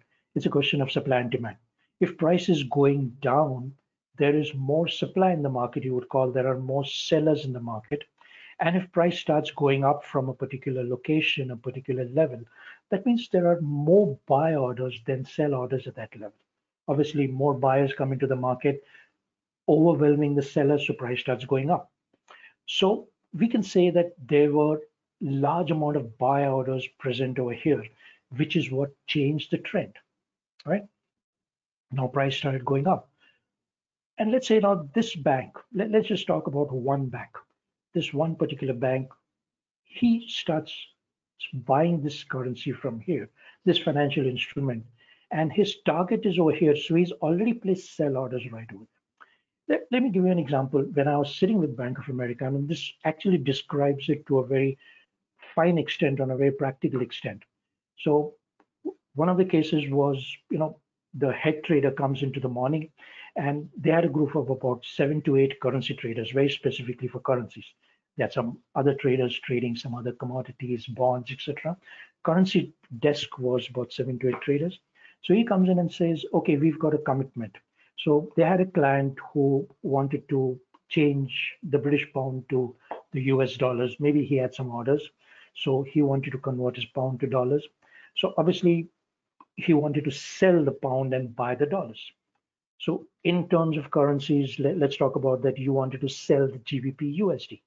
Now, let, us take this example. Let's say that you are looking at this chart. So current price is, I wonder if I have an annotation tool over here. We do have an annotation tool. Let me just give you a pen. Let, let's say that the current price was somewhere over here right? This is where current price is. Now, I'm looking at this uptrend exclusively. This is where current price is right now. So this head trader gives a commitment to the client that, okay, we, we are going to buy for you. And he gives a quote. This is where current price is. So he gives a quote that we will buy for you somewhere over here. He, he gives a better price. Now, obviously, a client also will go to maybe five banks and find out which bank gives me the best quote. So this guy gives him a quote that, okay, we are going to buy for you over here. We, we are going to give, give you a better rate. I'm just giving a standard uh, round example, okay, not getting into figures. So they've got a commitment of buy orders coming in over here right now. Current price is over here. So the head trader comes into the floor and he tells the traders, all right, guys, we've got buy orders over here and we've got a commitment, so you've got to fulfill. So we've got a buy order for, let's say, six million dollars that we need to buy six million dollars of this currency over here. This is price. Your job is to drive price over there, drive price over there, and buy it for the client. In the process, you also have your own funds. You can trade your own funds, etc. So this is one of the reasons where the bank has a genuine purpose for it along with a genuine purpose, they will include their own speculative purposes. Now, what the bank does is this is where it is. So they will start buying aggressively at this level over here, painting, and they call it painting those green candles. So you have price going up. What does a retail trader do? When does a retail trader come in? believe me, when I have been coaching traders all over the number of years, one of the things is when a trader comes to me and says, okay, I want to learn, or maybe I've done some trading, I wasn't successful. And if he has done some trading, he or she, I would say, okay, just let's go over your trading record. And one of the simple questions I would ask, I still do ask is, when you took this trade, what was the reason for you to get into this trade? You're not going to believe it, Simon, but 90% of the time it would be, oh, because price is going up, because the moving averages said so, because I saw in the news that the US dollar is going up, so I decided to buy. There is no technical analysis reason for it. And this is how retail traders trade. And the banks know exactly this. So the banks start driving and they will drive price over here at this particular stage. Don't you think that a retail trader is going to come in over here? Because what he sees is that price rise from here to here. And now that fear or that greed has taken over, that price is going without me. So I get into a buy. When a retail trader comes into a buy, if price is going up, someone has to sell it to him. Now, if price is going up, you must ask yourself, why would someone want to sell? If price is going up, I don't want to sell, right? I want to ride it till it keeps going up. So someone has to sell it to him. Who's selling it to him? Is the bank. Because the banks have their order right over here. They will create those green candles. They create the demand. So they want more buyers into the market. As soon as the buyers come in over here, this bank sells in about 6 million worth of that order of the client over here. A retail trader is trading with 5,000, 10,000. A group of retail traders would probably have 100,000, 800,000 dollars. You have 6 million of sell coming in. What happens? Boom, price goes down. And the retail trader gets stopped out. And he starts panicking. For some time, he's making money, but he doesn't know what's hit him. He has no clue of what's going on. So if his stops are taken out, let's say he enters over here, he's got a stop loss somewhere over here. If a stop loss is taken out, what happens in an order? When I'm buying, when I close an order, it becomes a sell order. So if I'm in a buy trade, my stop order gets taken out, my order is a sell order. So my sell order is triggered. If my sell order is triggered, somebody has to buy it from me. Who's buying it? The bank comes in again over here. They know exactly where the stops are. They'll step in to buy some more over here because ultimately their target is to go all the way over there. And this keeps happening. This is one of the reasons why price always moves in waves. It never moves in a straight line. It is your professionals taking out the stops, retail traders getting stopped out, re coming back into it. Now this guy gets stopped out. The bank is buying over here it goes up over here. This retail trader gets into exactly what Ben just talked about the psychology of trading. He gets into revenge trading. I have lost this money over here. I need to recover. Price is going up again. I've missed the bus. He buys again. For some time, it's going fine. Again, boom, the same thing happens the second time. And he doesn't know what's hitting.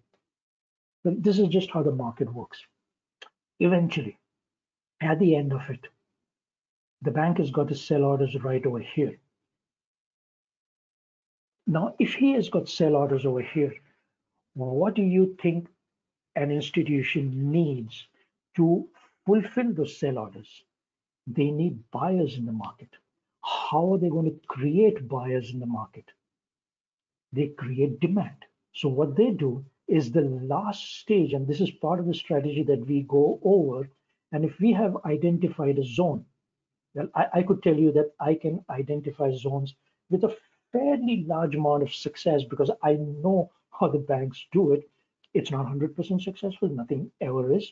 But if I anticipate a zone over here, which we call as a supply zone, and if I see a huge move going into a zone, I know the possibility of a reversal from there is very strong because that's the trap which is being created by the banks. That's the demand which is being created. That's the buyers they want to create so that their sell orders get filled over there. But this is just how the market works. And if you understand this simple psychology of how the market works, believe me, you can trade with any system. And I'm, I'm the first one to tell you, you can trade with any system if you understand the working of the market, it still gives you an edge. But once again, a lot of traders just don't think about it. And let's go to the next slide, right? Oops, sorry. Sorry about that. This slide over here.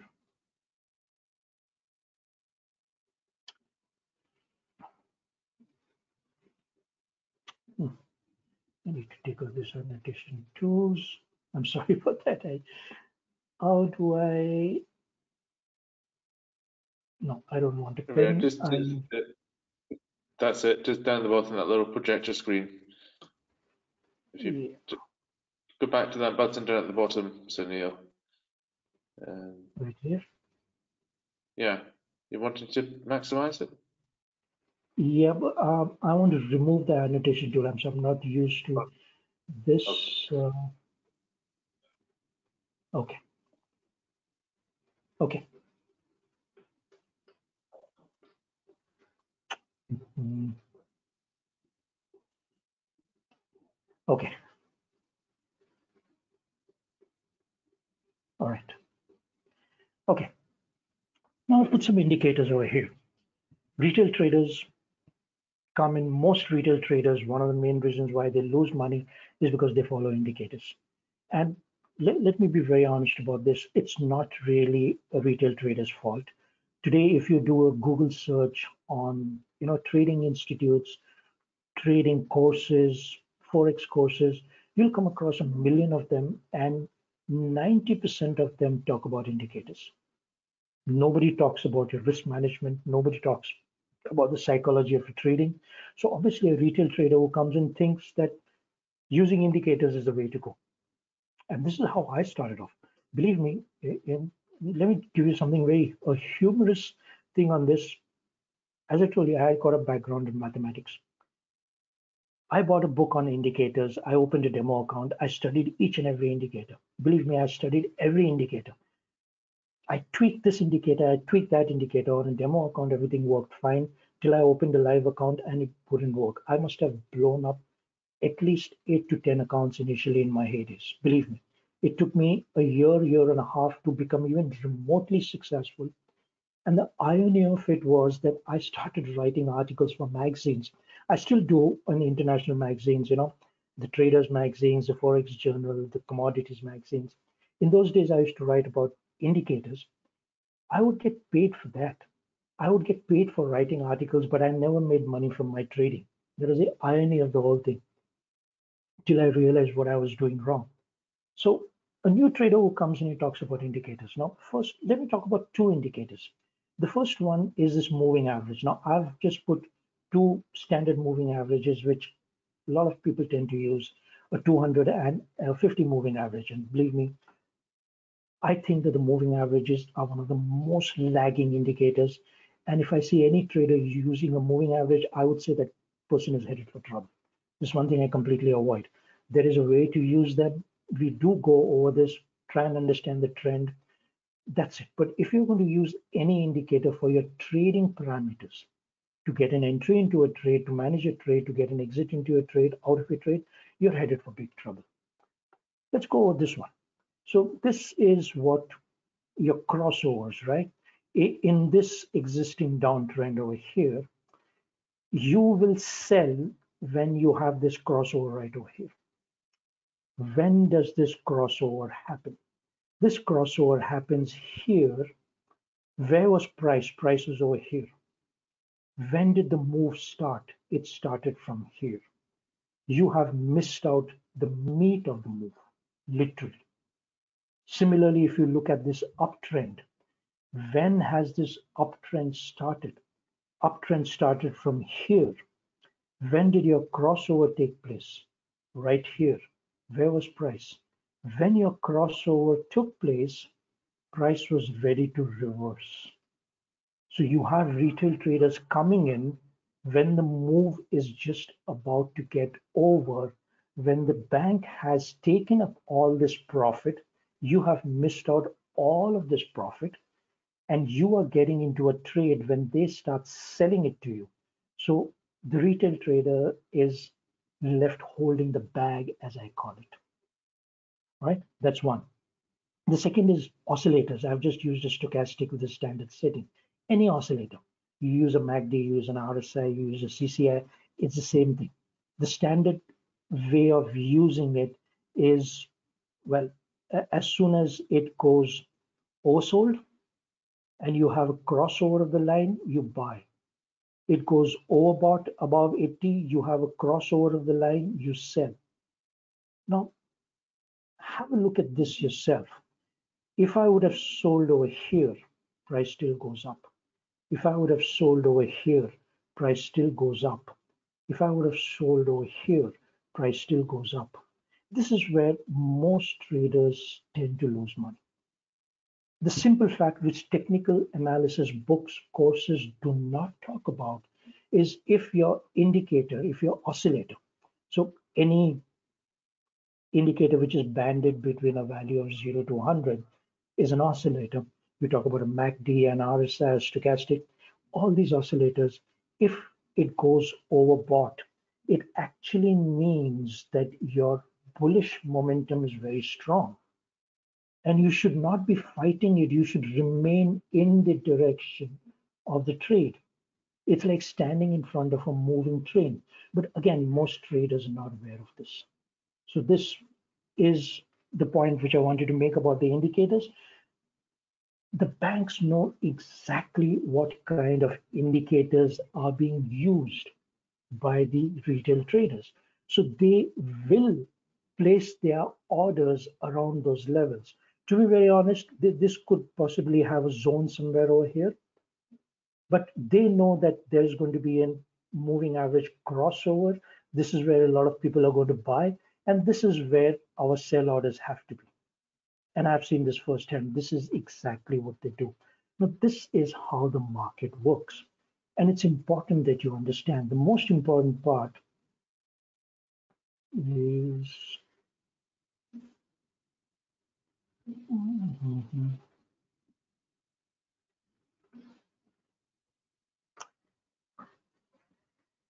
in forex the other side of your trade is held by a bank or an institute it's just as simple as that sorry I'm sorry about that. I seem to be having some problems with my annotation tool. not to worry, not to worry. Just, uh, is there any, any questions on this? I mean, some of some yeah. of this, yeah. Daniel, is is stuff that uh, I think some of us will have seen elements of this before um, in in in some seminars you may have been to, but I, I can see the way that you're you're trying to get us to think about the market and who which sort of entities are actually in control of the markets and once you understand that you get a bigger understanding of maybe what what's going to be happening what's what's what, what's going to move the markets uh, i can see a couple of questions specifically coming in uh, now yeah. Aaron, what platform does Sunil use to trade and which indicators does he endorse or use in his trading? Okay. Uh, I use the MetaTrader. I'm more comfortable with the MetaTrader. That's the only platform that I use. And the only indicator I use is the stochastic with a particular setting of 955 because the main, my main trading system is the divergence and there's a reason it's only an oscillator which can give you a divergence. A divergence can be spotted on a MACD on an RSI, but there is a particular divergence that I follow, which can be seen only with the stochastic. And I use a lot of Fibonacci levels, as I've said. So this is how my charts look like all over. I mean, you, you look at any chart. You, you look at any chart. This is what my charts look like. I may have I use a lot of harmonic patterns. Let me show you something here on the CAD. On the monthly, I'm more of a swing trader, but clean charts with the stochastic, that's about it. I don't use any indicators. Everything is based on price action. And the Okay, Fibonacci.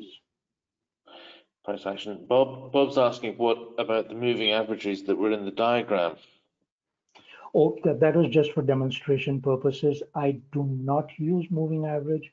I do not advocate the use of moving averages. Trust me, it's a personal thing. Maybe I've seen the effectiveness of how they can be really, really ineffective and how the banks can use moving average to drop it to trap the traders. Personal advice from my side, as far as possible, stay away from moving averages. Like I said, it's personal. Interesting. Yeah, I mean, I've heard that before. Some people love them, either love Yep. them or loathe them. Uh, seems to be uh, two sides of the same coin. Uh, Marguerite asked a good, good question. She says, "Do retail traders ever win against the banks, institutions?" Yes, yes, you do. Yes. You do if you are on the right side of the trades that they are taking. That's the only way. Let, let, let the, the saying that goes, if you can't beat him, join him. That's the only way that you can mm, win against it. And let, me tell you something personally, and this is not for an answer to your question, this is not a boast or this is not something, but I've been trading successfully. I make a living from my trading for the past 15 years or so. I'll go over this. I've got a couple of institutes where we teach trading. The success ratio of our students has been quite good comparatively. And I'll go over this. We put our money where our mouth is.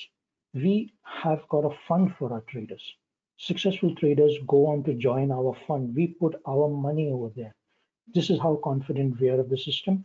Again, the system is based on the concept that we are riding the coattails of the professionals, and that's where it works. I understand. Uh, now, let's see more questions coming. This is great, fantastic uh, response here. James Sunil was making a point about the bank's approach to fib levels, Mhm. example 61.8. Could you I just, am going to go over that one. I am going to go over that one. That's a very interesting concept, and that's Okay. a very important concept. I will. Yep. okay, can we hold, hold that, just park that for a moment while we get through some of these questions? Um, Yep. Paresh is asking, if India does not allow Forex trading, then how is Sunil trading Forex living in India? It- It's. I wouldn't call. I wouldn't call it a loophole. There's a reason I have a registered office in London. I have an office. I have a company in Singapore. I have a company in the US. To be very honest, I all my trading is done from my companies outside.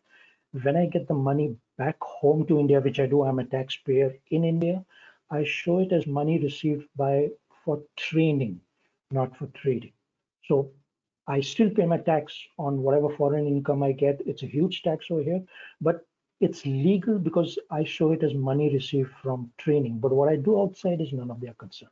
So that's the loophole that I managed to get out of. It's So, very, very, very transparent of you. I think I salute you. Um, final question. Um, let's go to our Aram again. Is is Sunil suggesting to avoid momentum trading? Oh, not not at all, not at all. As a matter of fact, uh, momentum trading is good. Or let's put it this way: my main trading technique that I follow, that I look at, is the divergence, which is a reversal of a trend. But there are other things which are based on Fibonacci's. For example, I'm looking at a setup on the Canadian dollar right now, monthly, so which is momentum trading, which is, I use a lot of harmonic patterns. I'm considered to be a specialist in harmonic patterns. Believe me, harmonic patterns are not as complicated as it's made out to be. It's just a combination of Fibonacci. So it is momentum trading. Whether you're doing momentum trading, whether you're doing trend trading, reversal trading, the simple fact is the concepts remain that if your bank is moving price to a certain level and you know where that level is, well, you remain in the direction of the trend. Once it reaches the level, you reverse it from there. It's just as simple as that. Okay, thank you. Okay, some good questions there. Now, uh, let's go back to James's uh, question he was asking uh, to, to, let's have a look again at the bank's approach to fib levels, exact, the fib level 61.8. Yes, I, I am going to come back. This is a classical example right here on the GBP CAD. This is a trade that we are looking at right now. I'm planning to get into a trade and I'm go over this one. The reason behind why it gets into it. Uh, let me just complete of the slides. There are just a couple of slides, but which I think is very important. So can I just go ahead and complete the slides? Ab- Absolutely, Sunil, that, that'd be fine. Let's, let's, let's finish up the slides and then we go back to the charts and uh, And yes, I will come back to the 61.8 because it's a classical example of how the banks are trapping the traders. Okay, so here, most traders are entering what I call shark infested waters, where these banks institutes have got deep pockets, huge resources, and you just cannot compete with them. That's first. So if there is a small percentage of traders who are successful, obviously there is a way. Retail traders, when they come in, they look for the holy grail for trading, which most often is a trading system. Everybody wants a good trading system. But successful trading is not just a trading system. It's a combination of different factors. Like I said, nobody said that trading is easy. I have seen a lot of traders who come in with the mentality that because it's a 24 hour market and I can trade anytime, it's what I call as a gambling mentality. I can open up an account with a thousand dollars, double my money in one month because people have told them that forex trading can you can make huge amounts of money. Double my account in one month and buy a Ferrari at the end of the year. That, that's the intention they come out with. And once they realize that trading involves a lot of hard work, and I call it hard work. There's a lot of dedication, there's a lot of practice which goes into it, there's a lot of perseverance which happens, there's a lot of patience and discipline which is required. Most of them just give up.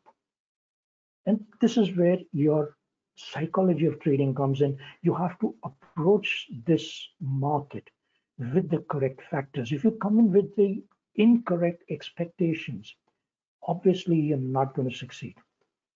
You come in with the correct expectations, but what we do is when we start a course, what we're going to do, Simon, is whenever I start a course, the first thing I always talk about is getting your expectations correct. And I'm the first one to say, this is not get rich overnight scheme. You are not going to be successful for the next six months, if at all. Take that into account that four, five, six months, you're going to practice, practice, practice till you get good at it. If you want to double your money in one month, you're in the wrong place. And I'm sorry, I don't do that. It, you know, you set your expectations correct. People will come in and they will expect that. But believe me, once you do it, it is a skill for a lifetime. You don't need anything else. And this is the huge advantage. So combination of different factors, which I describe as the three M's. Right, let me go over it very quickly because I want to get back to the charts, but it's important. So unless you incorporate these three M's in your trading, the likelihood of success is very low. So these three M's are money, mind, and method in this order. Now, earlier we did have the earlier speaker, he talked about the psychology taking up 90% of the trading. Well, I completely agree with that. My statistics may be a little different. I call it money, mind, method. Now, if I distribute these on a scale of 1 is to 10, the money, which is your risk management, will take up 5 parts out of 10. The mind factor, I simply call patience and discipline, takes up 3 parts of 10. And the method, I could give you 10 different methods. They just take up 2 parts of 10. So you see, your method is the least important part of the trading. And this is where most traders tend to lose the novice trader does not understand the concept of the money and the mind factor. They concentrate on the method. And in this method, they tend to use indicators. So which means out of the 10 parts, this trader is following, would say maybe 0.5. Now, is it surprising that this new trader loses money? And then he turns around and he says, Nobody can succeed in trading. It does give trading a bad name because everybody, people who lose money say that this is gambling. Nobody can succeed. The random movements. How can you make money? But well, there are people who are making money. There are people who are doing it. So obviously there is a way. Let's quickly talk about the three M's in brief. Right? Money, for me, that's the most important part. Literally, if your money management policies are correct, you could trade with any system and you would still make money. As traders, obviously, we are here to make money from the market. What is a priority? I always say that as a trader, your first priority is of a risk manager. You are there to conserve your capital. The minute you control your risk, your account is going to grow. There is no two ways about it. The trader's capital is the bloodline. Obviously, without capital, you cannot trade conserving the capital becomes very important. Controlling your losses. Controlling your capital means controlling your losses, your risk. A single loss is just not a loss of capital only. It puts you two steps behind in your quest to profitability. This is because simple mathematics for every percent gain needed to recover from a loss, it increases geometrically exponentially actually should be the right word over here. This is a chart. Let's take the 50% part of it, right? Look at the 50% and let's just take an example. I have an account of $5,000. If I lose 50% of that, that means I'm left with $2,500. Now to get back to break even, I need to make another 2,500 on my existing 2,500 just to get back to break even.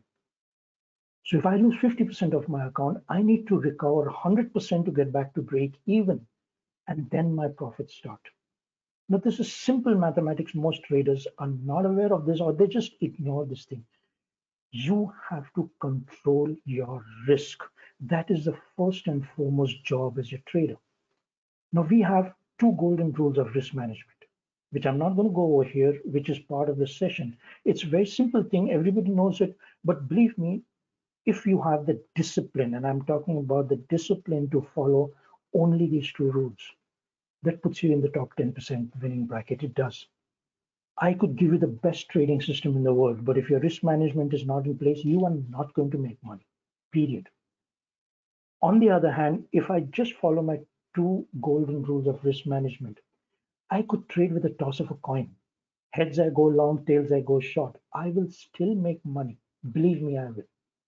I'll mathematically prove it to you. But again, we are not here to gamble, right? We are here to put the odds in our favor. Then comes a mind part. This is the most difficult. This is where you need practice, even for an experienced trader. My take on this is successful traders are not born. You're not inbuilt to be a successful trader. You have to put in the practice for that. And that practice trading on demo account, trading on a live account for some time is building up your discipline and patience, learning how to accept losses, learning how to move ahead without going into revenge trading. This requires practice. This is where your practice comes in, which is why I always say you cannot, after you do a course, any course, you cannot become a successful trader because you need to put in that practice. This is your mind factor, right? And then, of course, comes the method. Your trading systems should be something which is effective and easy to follow. Effective, there are 100 systems out over there. There are algos out over there. There are trading systems based on momentum, on reversals, on moving averages, on indicators. As I said, there are a thousand ways to skin a cat. You could trade with any system. Now, I'm the first to tell you that you decide what system is you're going to be comfortable with something which is effective and something which is easy to follow. Don't make it complicated. For us, divergence is a primary trading technique, and this is based on the concept that institutional traders create traps for the retail traders. Now, in the divergence, the reason why I use a stochastic, this is what I want to talk about. There are three types of divergences. There is a class A divergence, there is a class B divergence, and there is a class C divergence. Not many people know the difference between that. Everybody trades the divergence just as it is. It's only when I use the stochastic with that particular setting that I can identify a class A divergence which has a success ratio of almost 80%. Yes, you heard it right, 80%. What I'm doing is I'm ignoring the class B and I'm ignoring the class C.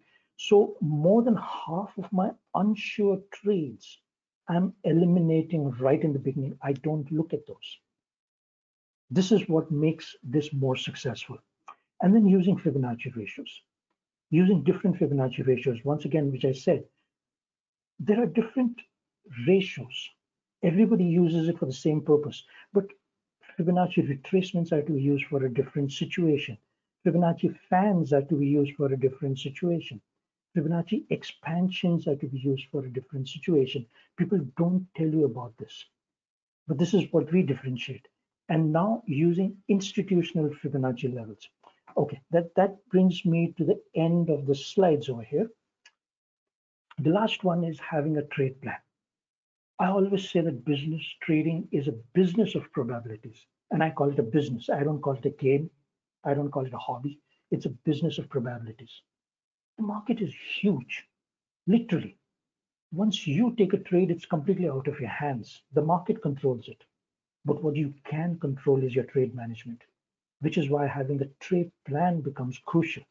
We put down a trade plan for every system that we have the most important thing is because this is a business of probabilities, you have to put rules. You have to take out the emotions from the trading. If you put down rules and if you have the discipline to follow the rules, that this is my trading system. Step one, two, three, four. I get my setup. If step one happens, step two happens, step three happens, I go ahead and I take a trade on step four regardless of the outcome of my trade that is not in my hand. I will have losing trades. Of course, I'll have losing trades. That's part and parcel of trading. But that's what makes a successful trader, that you follow your rules once you've set it down, regardless of what's going to happen, which is why trade plan comes in.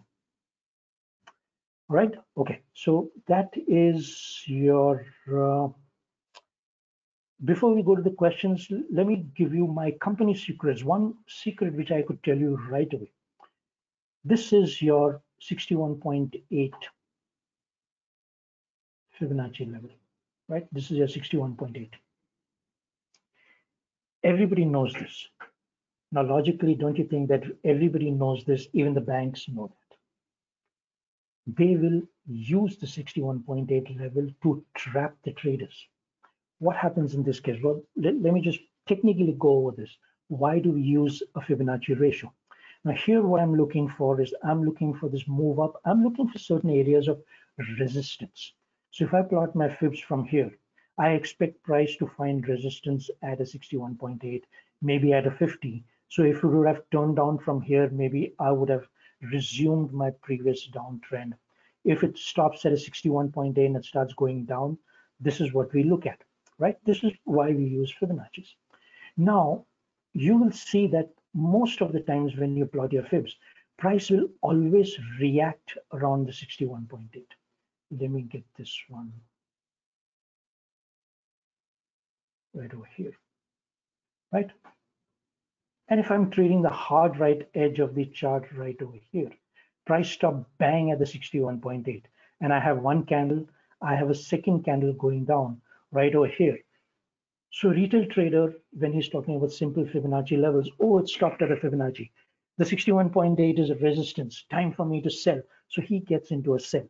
Now, what does he do when he gets into a sell? He gets into a sell and he places his stops somewhere over the 61.8. He places stop order over here. You know it, I know it, the banks know it. What they will do is they will drive price through the stop loss level to take out the stops of the traders because that's how they make money. That's how they move the market. That's how the market moves in Forex. I'm very specific about Forex. And where does it go? 78.6. 78.6 for me is the most crucial Fibonacci level. And this came from the banks. Let me tell you how I got to know this. I would watch the banks when I was sitting with them that they would drive price past the 61.8 and take it to the 78.6. No, 78.6 is a fib level. My question to them was why 78.6? Why not 88.6?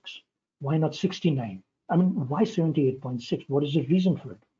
Initially, of course, they were very cagey about it. Nobody in the bank wants to give out your trading process.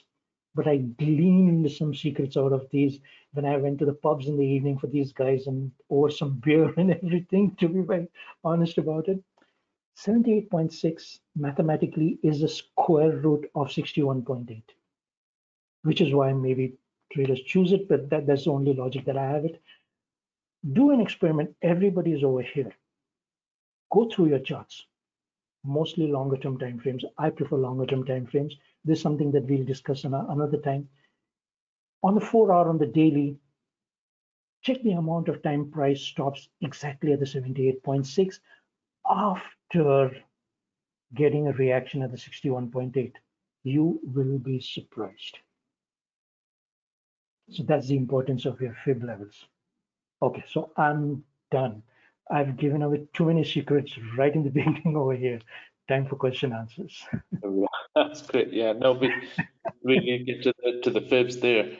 Fantastic. Well, Bob says, thank you. You've answered my question uh, already. Bob was asking, he'd spotted uh, the 78.6 uh, was standard level. So we've covered that, which is great. Does anybody have any other final questions? Sunil, you've, you've, you've done really well. You've filled in uh, a little bit of time that uh, we had because uh, Steve's not been able to join us uh, this lunchtime. So to, to those of you that, that were looking forward to seeing Steve Ruffley, my apologies. He he just hasn't been uh, at the end of the phone or online. Um, so something unusual has popped up. Um, uh, but uh, we'll, we'll try and get Steve back again uh, to join us next week uh, in, in the, instead. But uh, we've had Ben Kennedy from AYRA Trading and Uh, Sunil Mangwani uh, keeping us uh, entertained and educated the last hour on his system strategies. yeah. Oh, this, one, one, one thing, if I can just go over, Simon. I would just like to talk about. One thing is that if you have a slot next Thursday again, I would like to, you know, if there is some time, just come and go over the charts and talk about the traps. Uh, what I want to do is, this is my website. You can see I have invented one harmonic pattern, which I call is the diamond pattern, which I've patented. It's based simply on the divergence. I trade different instruments. There is, I'm a director of a company which is based in London, which is Breadcrown Trading. Uh, we do crude oil exclusively only crude oil with the same principles, the same technologies, nothing very different. Uh, I have an institute in California, which is Willow Trading here. Uh, this is where we have a fund. We conduct our courses.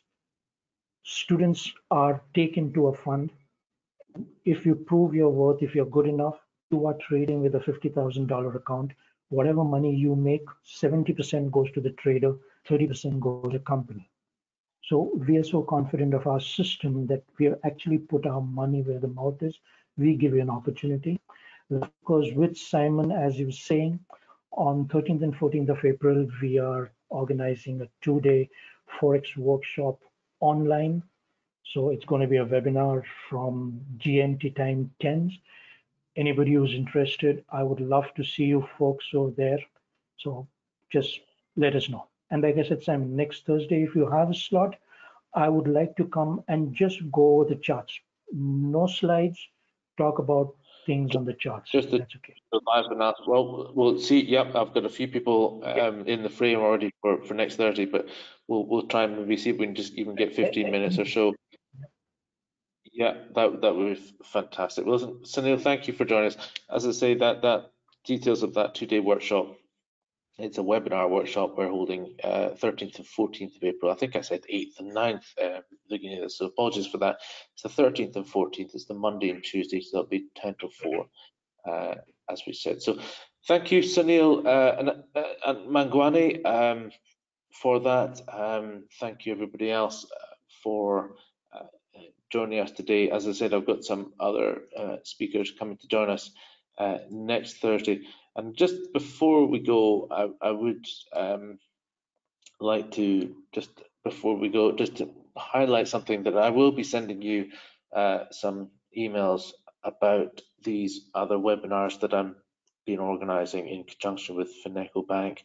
Uh, a lot of you will know I've been doing the seminars with Fineco for the past year now. There we go. Thank you, Sunil. Uh, most interesting webinar. This is Marguerite. Um, thank you. Most interesting, interesting, Sunil. Thanks for from Gordon as well. So good, some some some good feedback. So thank you um, for that, Sunil. And hopefully, yeah, we'll get back for for some live chart analysis um, next Thursday. We'll squeeze that in. Yeah, Uh, will do. Thank, thank you, everybody. Thank you. Thank you so much for your time. Thank you. There we are. So just just before we go, yeah, this this is the Fineco Bank um, website, and you find yourself find your way to the the, the webinars page. You'll see there. Um, I've been working with Adam Harris, who has been on several round the clock trader events before. He's going to be doing two at least two webinars a month um, with the the Fineco Bank platform. Uh, and, and actually, I'd, I'd like to get someone from Fineco, maybe Antonio would come onto this event um, at some point just to give us a, a look at the Fineco platform. It's a great platform. Fineco Bank are offering a, a, a- a platform that offers a, a current account, an investment account for uh, and a trading platform, all all under the one umbrella, if you like. It's it's quite a, a, a nice offering. They offer the ability to analyze stocks and reports and obviously trade forex and CFDs as well. It's it's all there in a very easy manageable platform.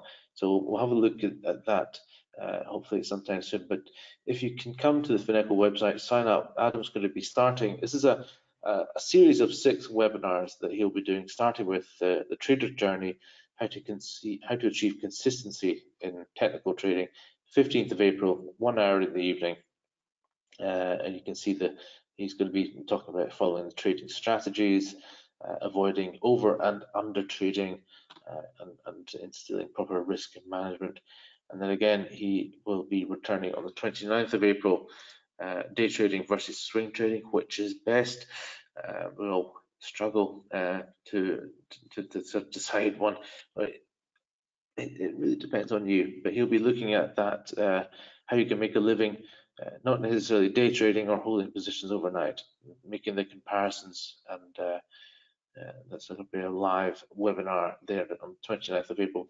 Before we get to that though, uh, there is another chance for us. Uh, Alpesh has put together a special event for uh, Fineco Bank. Um, now he's update, updated the title of this webinar um, since the crisis uh, broke uh, the sort of global emergency that we're in. So he's updating all the content for this webinar, um, and uh, we'll be sending you details of that 22nd of April with Alpesh. So if you can uh, head over to the Fineco website and uh, please get yourself booked onto these webinars, that'd be great. And of course, don't don't miss these these other uh, great little webinars that are happening um, all the time at Fineco, uh, giving you more of a sort of instructive tours of the, the platform um, answering all your questions on the different products that they've got there. So I'll uh, I'll, I'll, send you details of that uh, anyway before they turn up.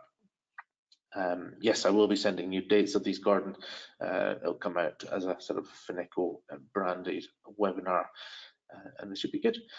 So thank you very much, everybody. Uh, and I'm sorry that uh, we didn't get to see Steve today. Um, something's come up, um, but uh, most unlikely. He he will be back, I'm sure. We'll we'll get it back for next uh, Thursday, or maybe even something in in between that. Uh, and I've got another few people as well, uh, so we'll just confirm them, and I'll keep you in touch with all that. So, in the meantime, enjoy your locking down um, experience, and uh, obviously stay safe, everybody. I know it's trying times. We're all a bit sort of uh, worried and concerned, but uh, you know, I'm confident we're going to get through this and uh, we'll look back on it and uh, be thankful that it be somewhere that we can leave in the past. Uh, uh there's some some good news coming out, and uh, so oh, Eddie Large has just passed away. Says Wayne, what a shame. I know it's uh, yeah, we're we're seeing all sorts of losing all sorts of people, um, not not just the celebrities, of course, but all these people that are doing good stuff, you know, parts of the uh, NHS, of course. So we're uh, thinking of them all and uh, been good to get together. So we're enjoying these these events. Yeah, look after yourself too, Wayne, and uh, and to you all. Thanks very much for attending. Um, see you again soon.